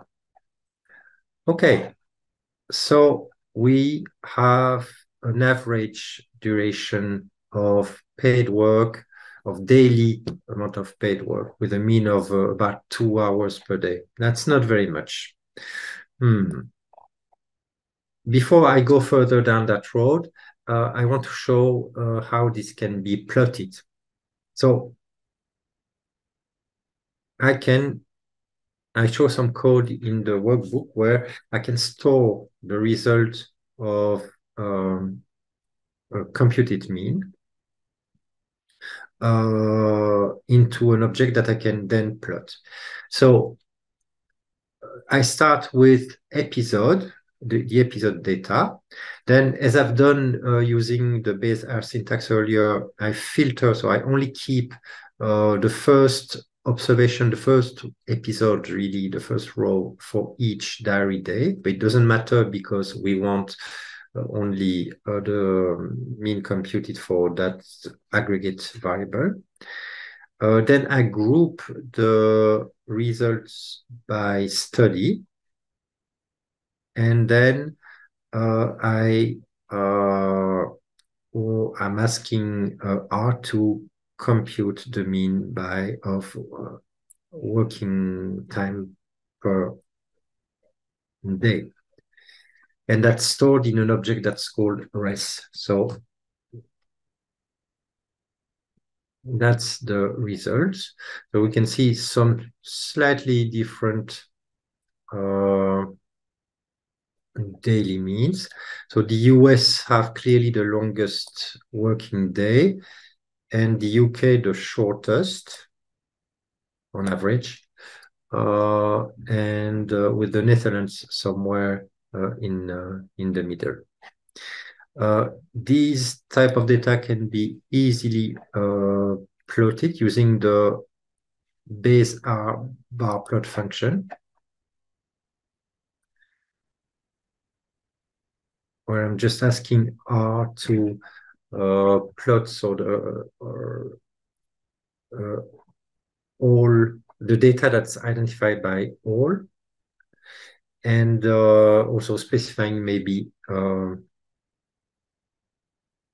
title so uh, which is the main option daily working time in selected countries and xlab ylab uh, for the respectively horizontal and vertical label axis.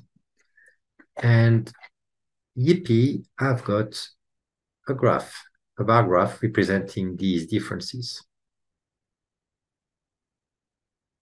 So it's a first way of visualizing duration data.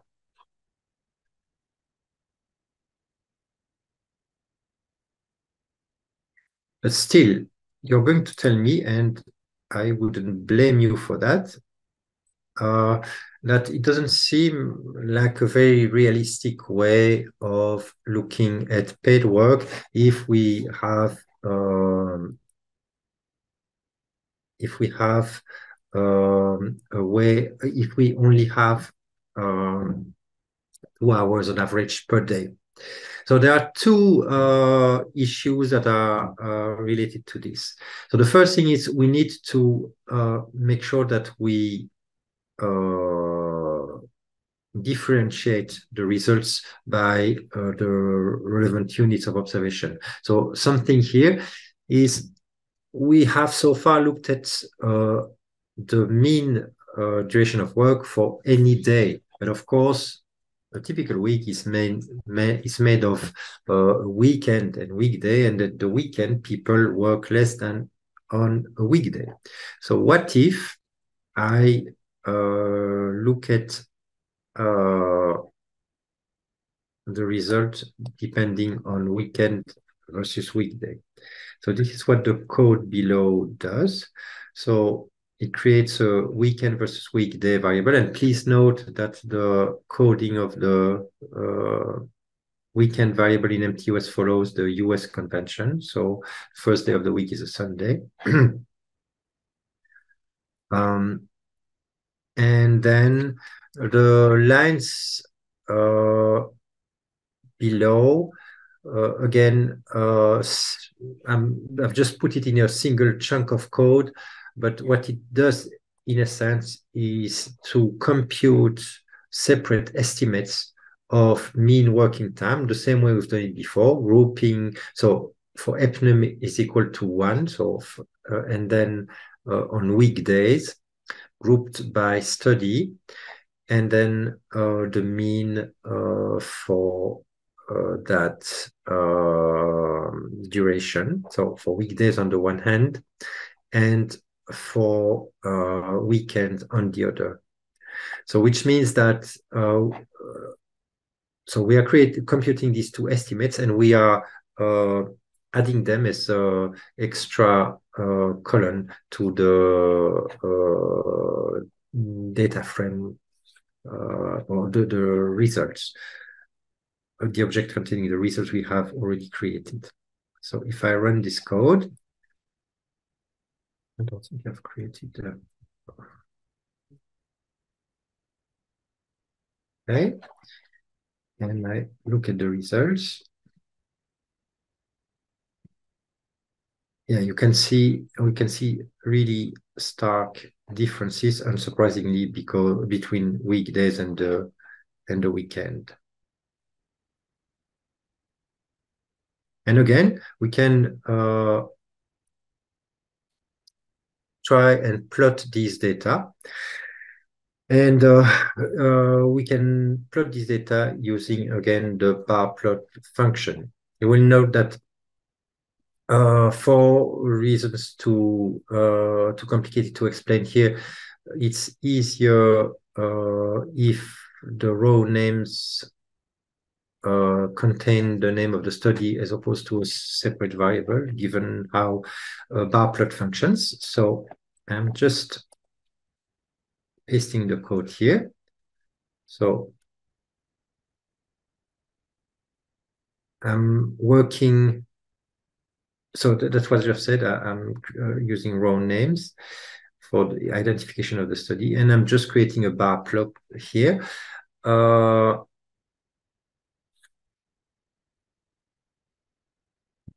Whoops. Why is it not? Hmm. Well, you have to trust me that the code works when I run it on uh, as part of this workbook. Um, so that that shows basically uh, the weekend versus weekday differences by country. And you, we will see that the main uh, European countries do not have very different durations. The US, by contrast, stands out with longer uh, working days. But now, uh, another aspect we want to have a look at. Ah, okay. Uh, whoops. Uh, why do we want epnum is equal to one? Uh, epnum is equal to one means that uh, since we are computing daily means, right? So we want to uh, this daily means. So we are we have um, created the, the daily mean variable uh, in an episode data set. So in effect, we still have a data set with a variable number of episodes per diary, per person, etc. Right? So if I want to have um, to compute a mean that reflects or that give the same weight to everyone, irrespective of the number of episodes uh, in their diary, uh, then I need to uh, select only the one observation per diary, which is uh, the total uh, duration of, of paid work for for for for this diary. Otherwise, not doing that may uh, affect the value of the mean that's being computed given the difference the different number of episodes in the in the episode dataset. So in effect, it's uh, uh, I am turning for the duration of that computation the episode dataset into uh, an aggregate dataset. Okay, so now the second uh, uh, thing we need to think about. And that's really something that is uh, quite fundamental when uh, working with time diary data. Uh, it is basically about um, what we are interested in. And there are two options. So the first option is um, I want to uh, compute estimates that reflect the whole of my data set. And why do I want to do that? Because if I uh, compute estimate with all the data that's available and all the diary data specifically, then I can compute estimates that neatly adds up to uh, a full day. Um, as uh, i showed earlier with this comparison of uh, typical days between 1961 and 2015. Right. But then, depending on the activity uh, one looks at, uh, it may be affected by the number of uh, people who are not carrying out such activity. Uh, so it, it doesn't really matter maybe uh, in the case of activity everyone activities everyone is doing typically sleeping eating uh, self-care if everyone uh, has an equal propensity of uh, uh, having a shower every day. Uh, but on the other hand, in the case of activities that are less common or not everyone does it, then that begins to affect the the the extent to which the means or the uh, estimates we are computing uh, are informative or typical of the values uh, that people do. So in the case of paid work, and, and to, to, go to the bottom of things, in the case of paid work, uh, there we either have the option or of, as I've done so far, looking at uh, the mean of paid work for everyone in the sample, or for only those who reported paid work on uh, the diary day. So the nice, so the, the positive thing, if I start looking only at people who reported paid work, is the fact that I'm going to, and I'm going to show that uh, I'm beginning to have uh, estimates that are closer to typical uh, paid work or, uh, sorry, working days uh, uh, as one can expect. but on the other hand, it means that I am not each time comparing uh, the same uh, sample because obviously I am only taking uh, the mean for people who reported paid work. So uh, to cut it short, here I am uh, repeating the same uh, series of computation here. So I'm creating a new uh, object with uh, paid work duration that I'm calling resw. Um, and I'm following the same logic as before, but I'm adding an extra uh, condition. so I'm uh, specifying that I only want to uh, compute the mean for those observations where WKB, our daily total of paid work, is greater than one. So everyone who didn't report work, for example, most people uh, or, a lot of people on Sundays, for example, uh, will not be uh, taken into account. So first column will be uh, these people, uh, everyone, and then uh, people weekdays and people at the weekend.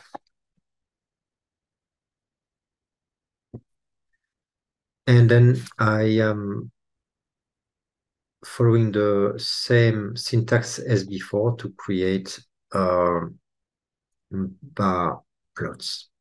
And here we finally see results that are beginning to be a little bit more uh, realistic. So we can see now that the uh, mean duration of the working day has jumped to uh, between 450 and 500 for most countries minutes per day, which means uh, between six, uh, seven, eight hours of uh, paid work per day, which is much, much more uh, realistic. And of course, the reasoning I'm following here applies to uh, any activity uh, you may be interested in uh, researching. So uh, having to do the choice between uh, only looking at participants, that's the jargon uh, we would use for that, versus um, everyone in the sample.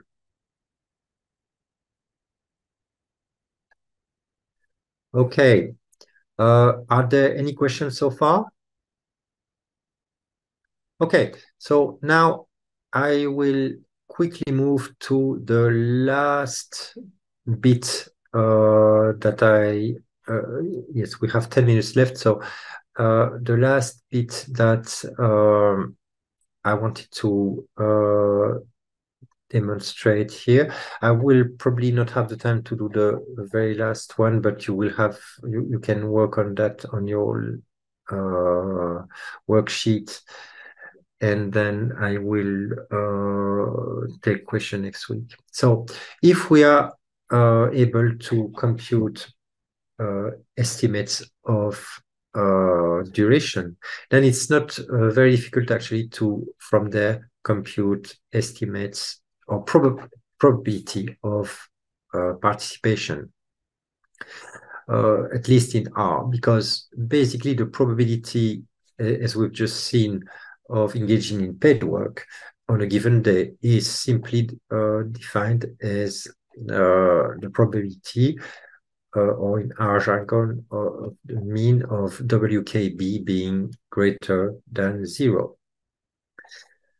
Um, and so we can similarly compute a, a data set uh, which includes these results.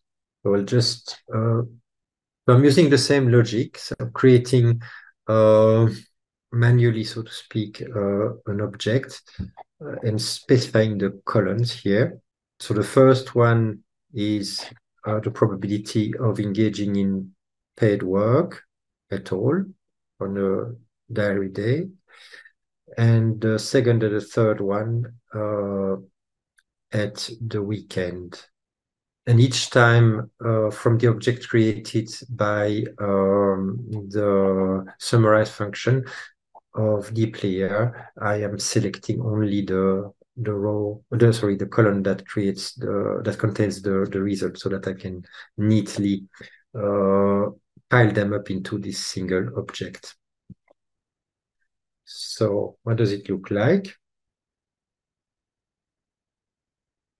and of course, uh, it's all grouped by study S previously.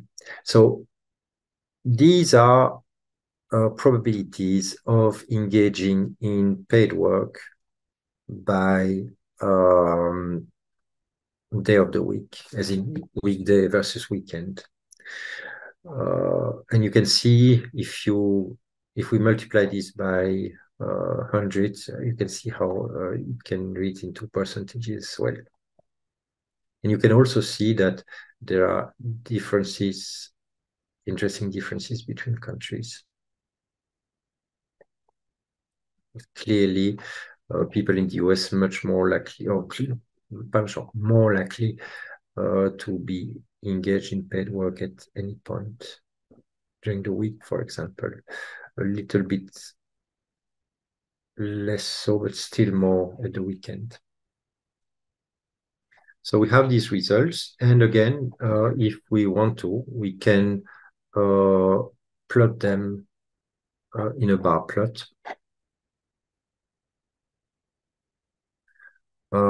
Showing how likely respondents in each country were to engage in paid work um, at uh, any point in time.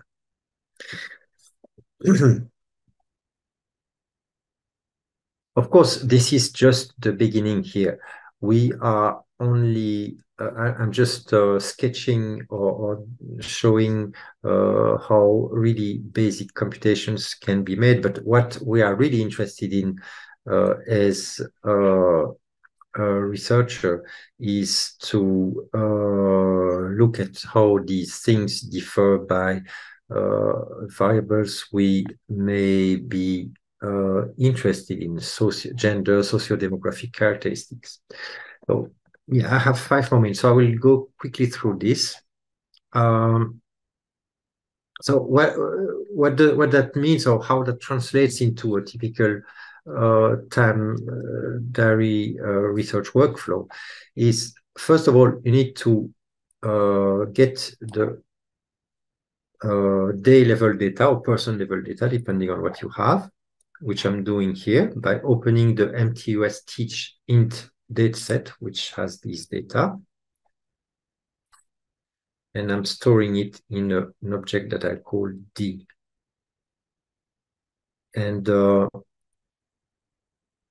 also, uh, for the sake of uh, simplicity, I'm creating exactly the same study uh, variable uh, resulting from the concatenation of country and survey uh, into yeah, a study variable. And I can see here, so I have 88,000 observations and more variables. Okay, so we have our individual data. Um, so the rest is uh, partly a matter of taste. There are people who prefer to create a small number of variables and then add it to the episode file. Others who just want to merge everything into a single large data set. Um, there, there's no really a, a, right or wrong way of doing things. Uh, so what I'm doing in the uh, what I've done in the workbook is to create a uh, to simply uh, add uh, the work level uh, so, so, the day level uh, duration of work to the the existing uh, diary yeah, diary day level file. So in other words, I'm adding uh, my WKB variable to the D dataset that I've just uh, opened. And I'm storing this as a new object that I call dt.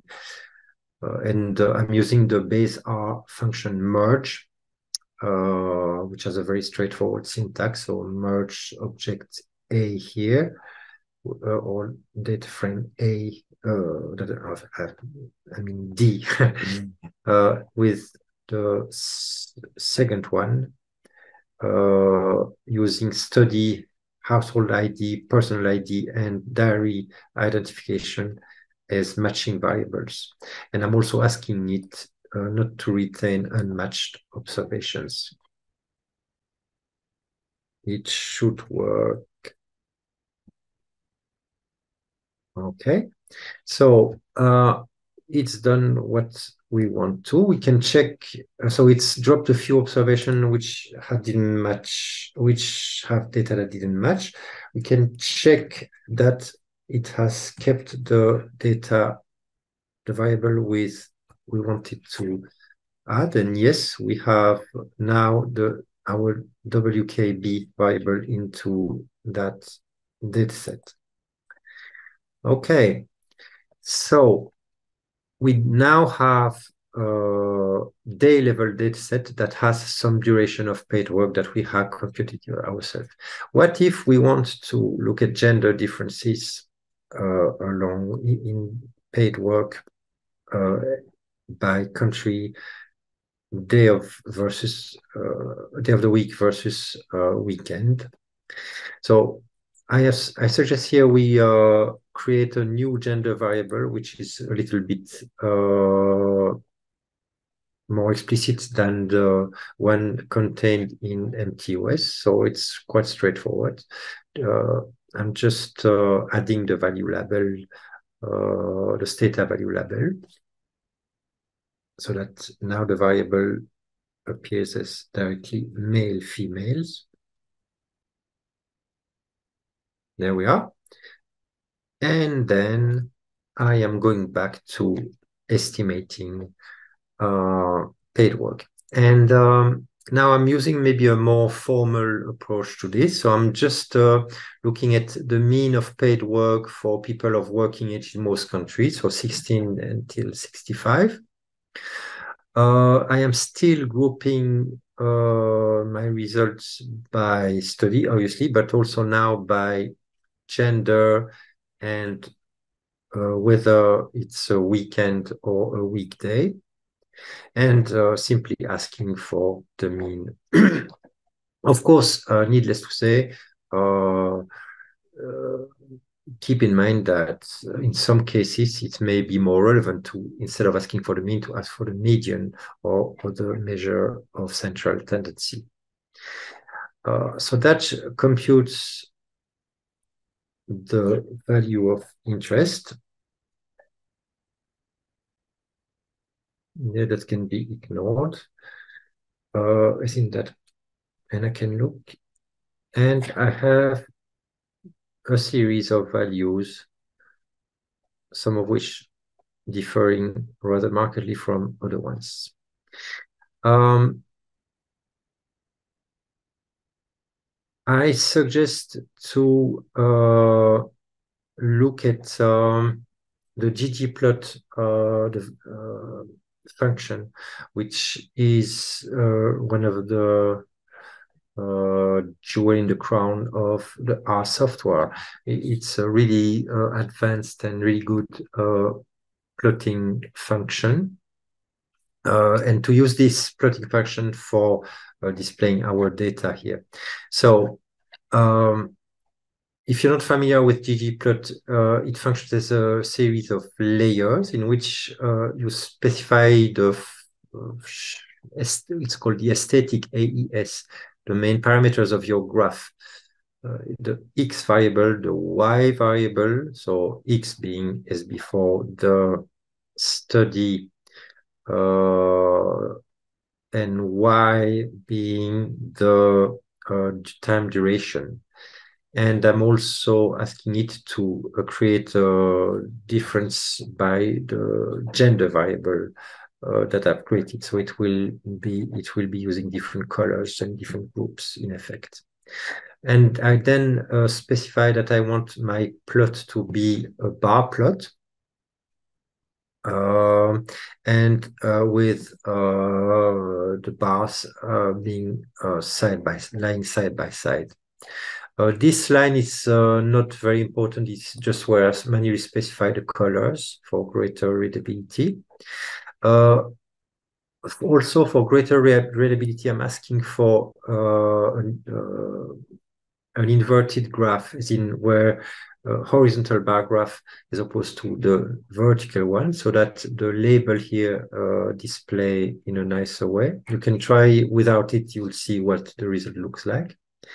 And finally, uh, I am asking to have one facet, one subplot uh, uh, by for one each category of the weekend versus weekday variable. And that is what this result looks like. So we can see uh, as uh, can be expected, duration, uh, relatively clear differences in the duration of paid work, including of um, uh, oh, oh sorry, uh, the marked difference in the duration of paid work of people who did work on the day. So that doesn't take into account the gender differences in uh, economic activity. But still, even when looking at people uh, who uh, work on um, on the diary day, we can see as uh, one can be expected uh, differences in the duration of paid uh, of the paid uh, work throughout the day. And this is obviously uh, related to what we've seen earlier in differences, gender differences in the amount of unpaid work that men and women do. Women do more unpaid work and therefore have less time to do paid work. this translates in to shorter working days, which can be formalized at part-time work. Um, in the Netherlands, lots of uh, the Netherlands is one of the countries with the largest proportion of uh, part-time workers, so that shows clearly here. And interestingly, these differences are less marked for people working at the weekend. Okay, so that's uh, uh maybe I'm going to stop here for today. Um, for, before I close the session, I wanted to ask, uh, are there any question? So in the code I have demonstrated. Um, so we will be exploring this further uh, next week, looking at more specific stuff. If you have any question, uh, feel free to send an email uh, and I will uh, mention it, uh, I will discuss it at the beginning of next session.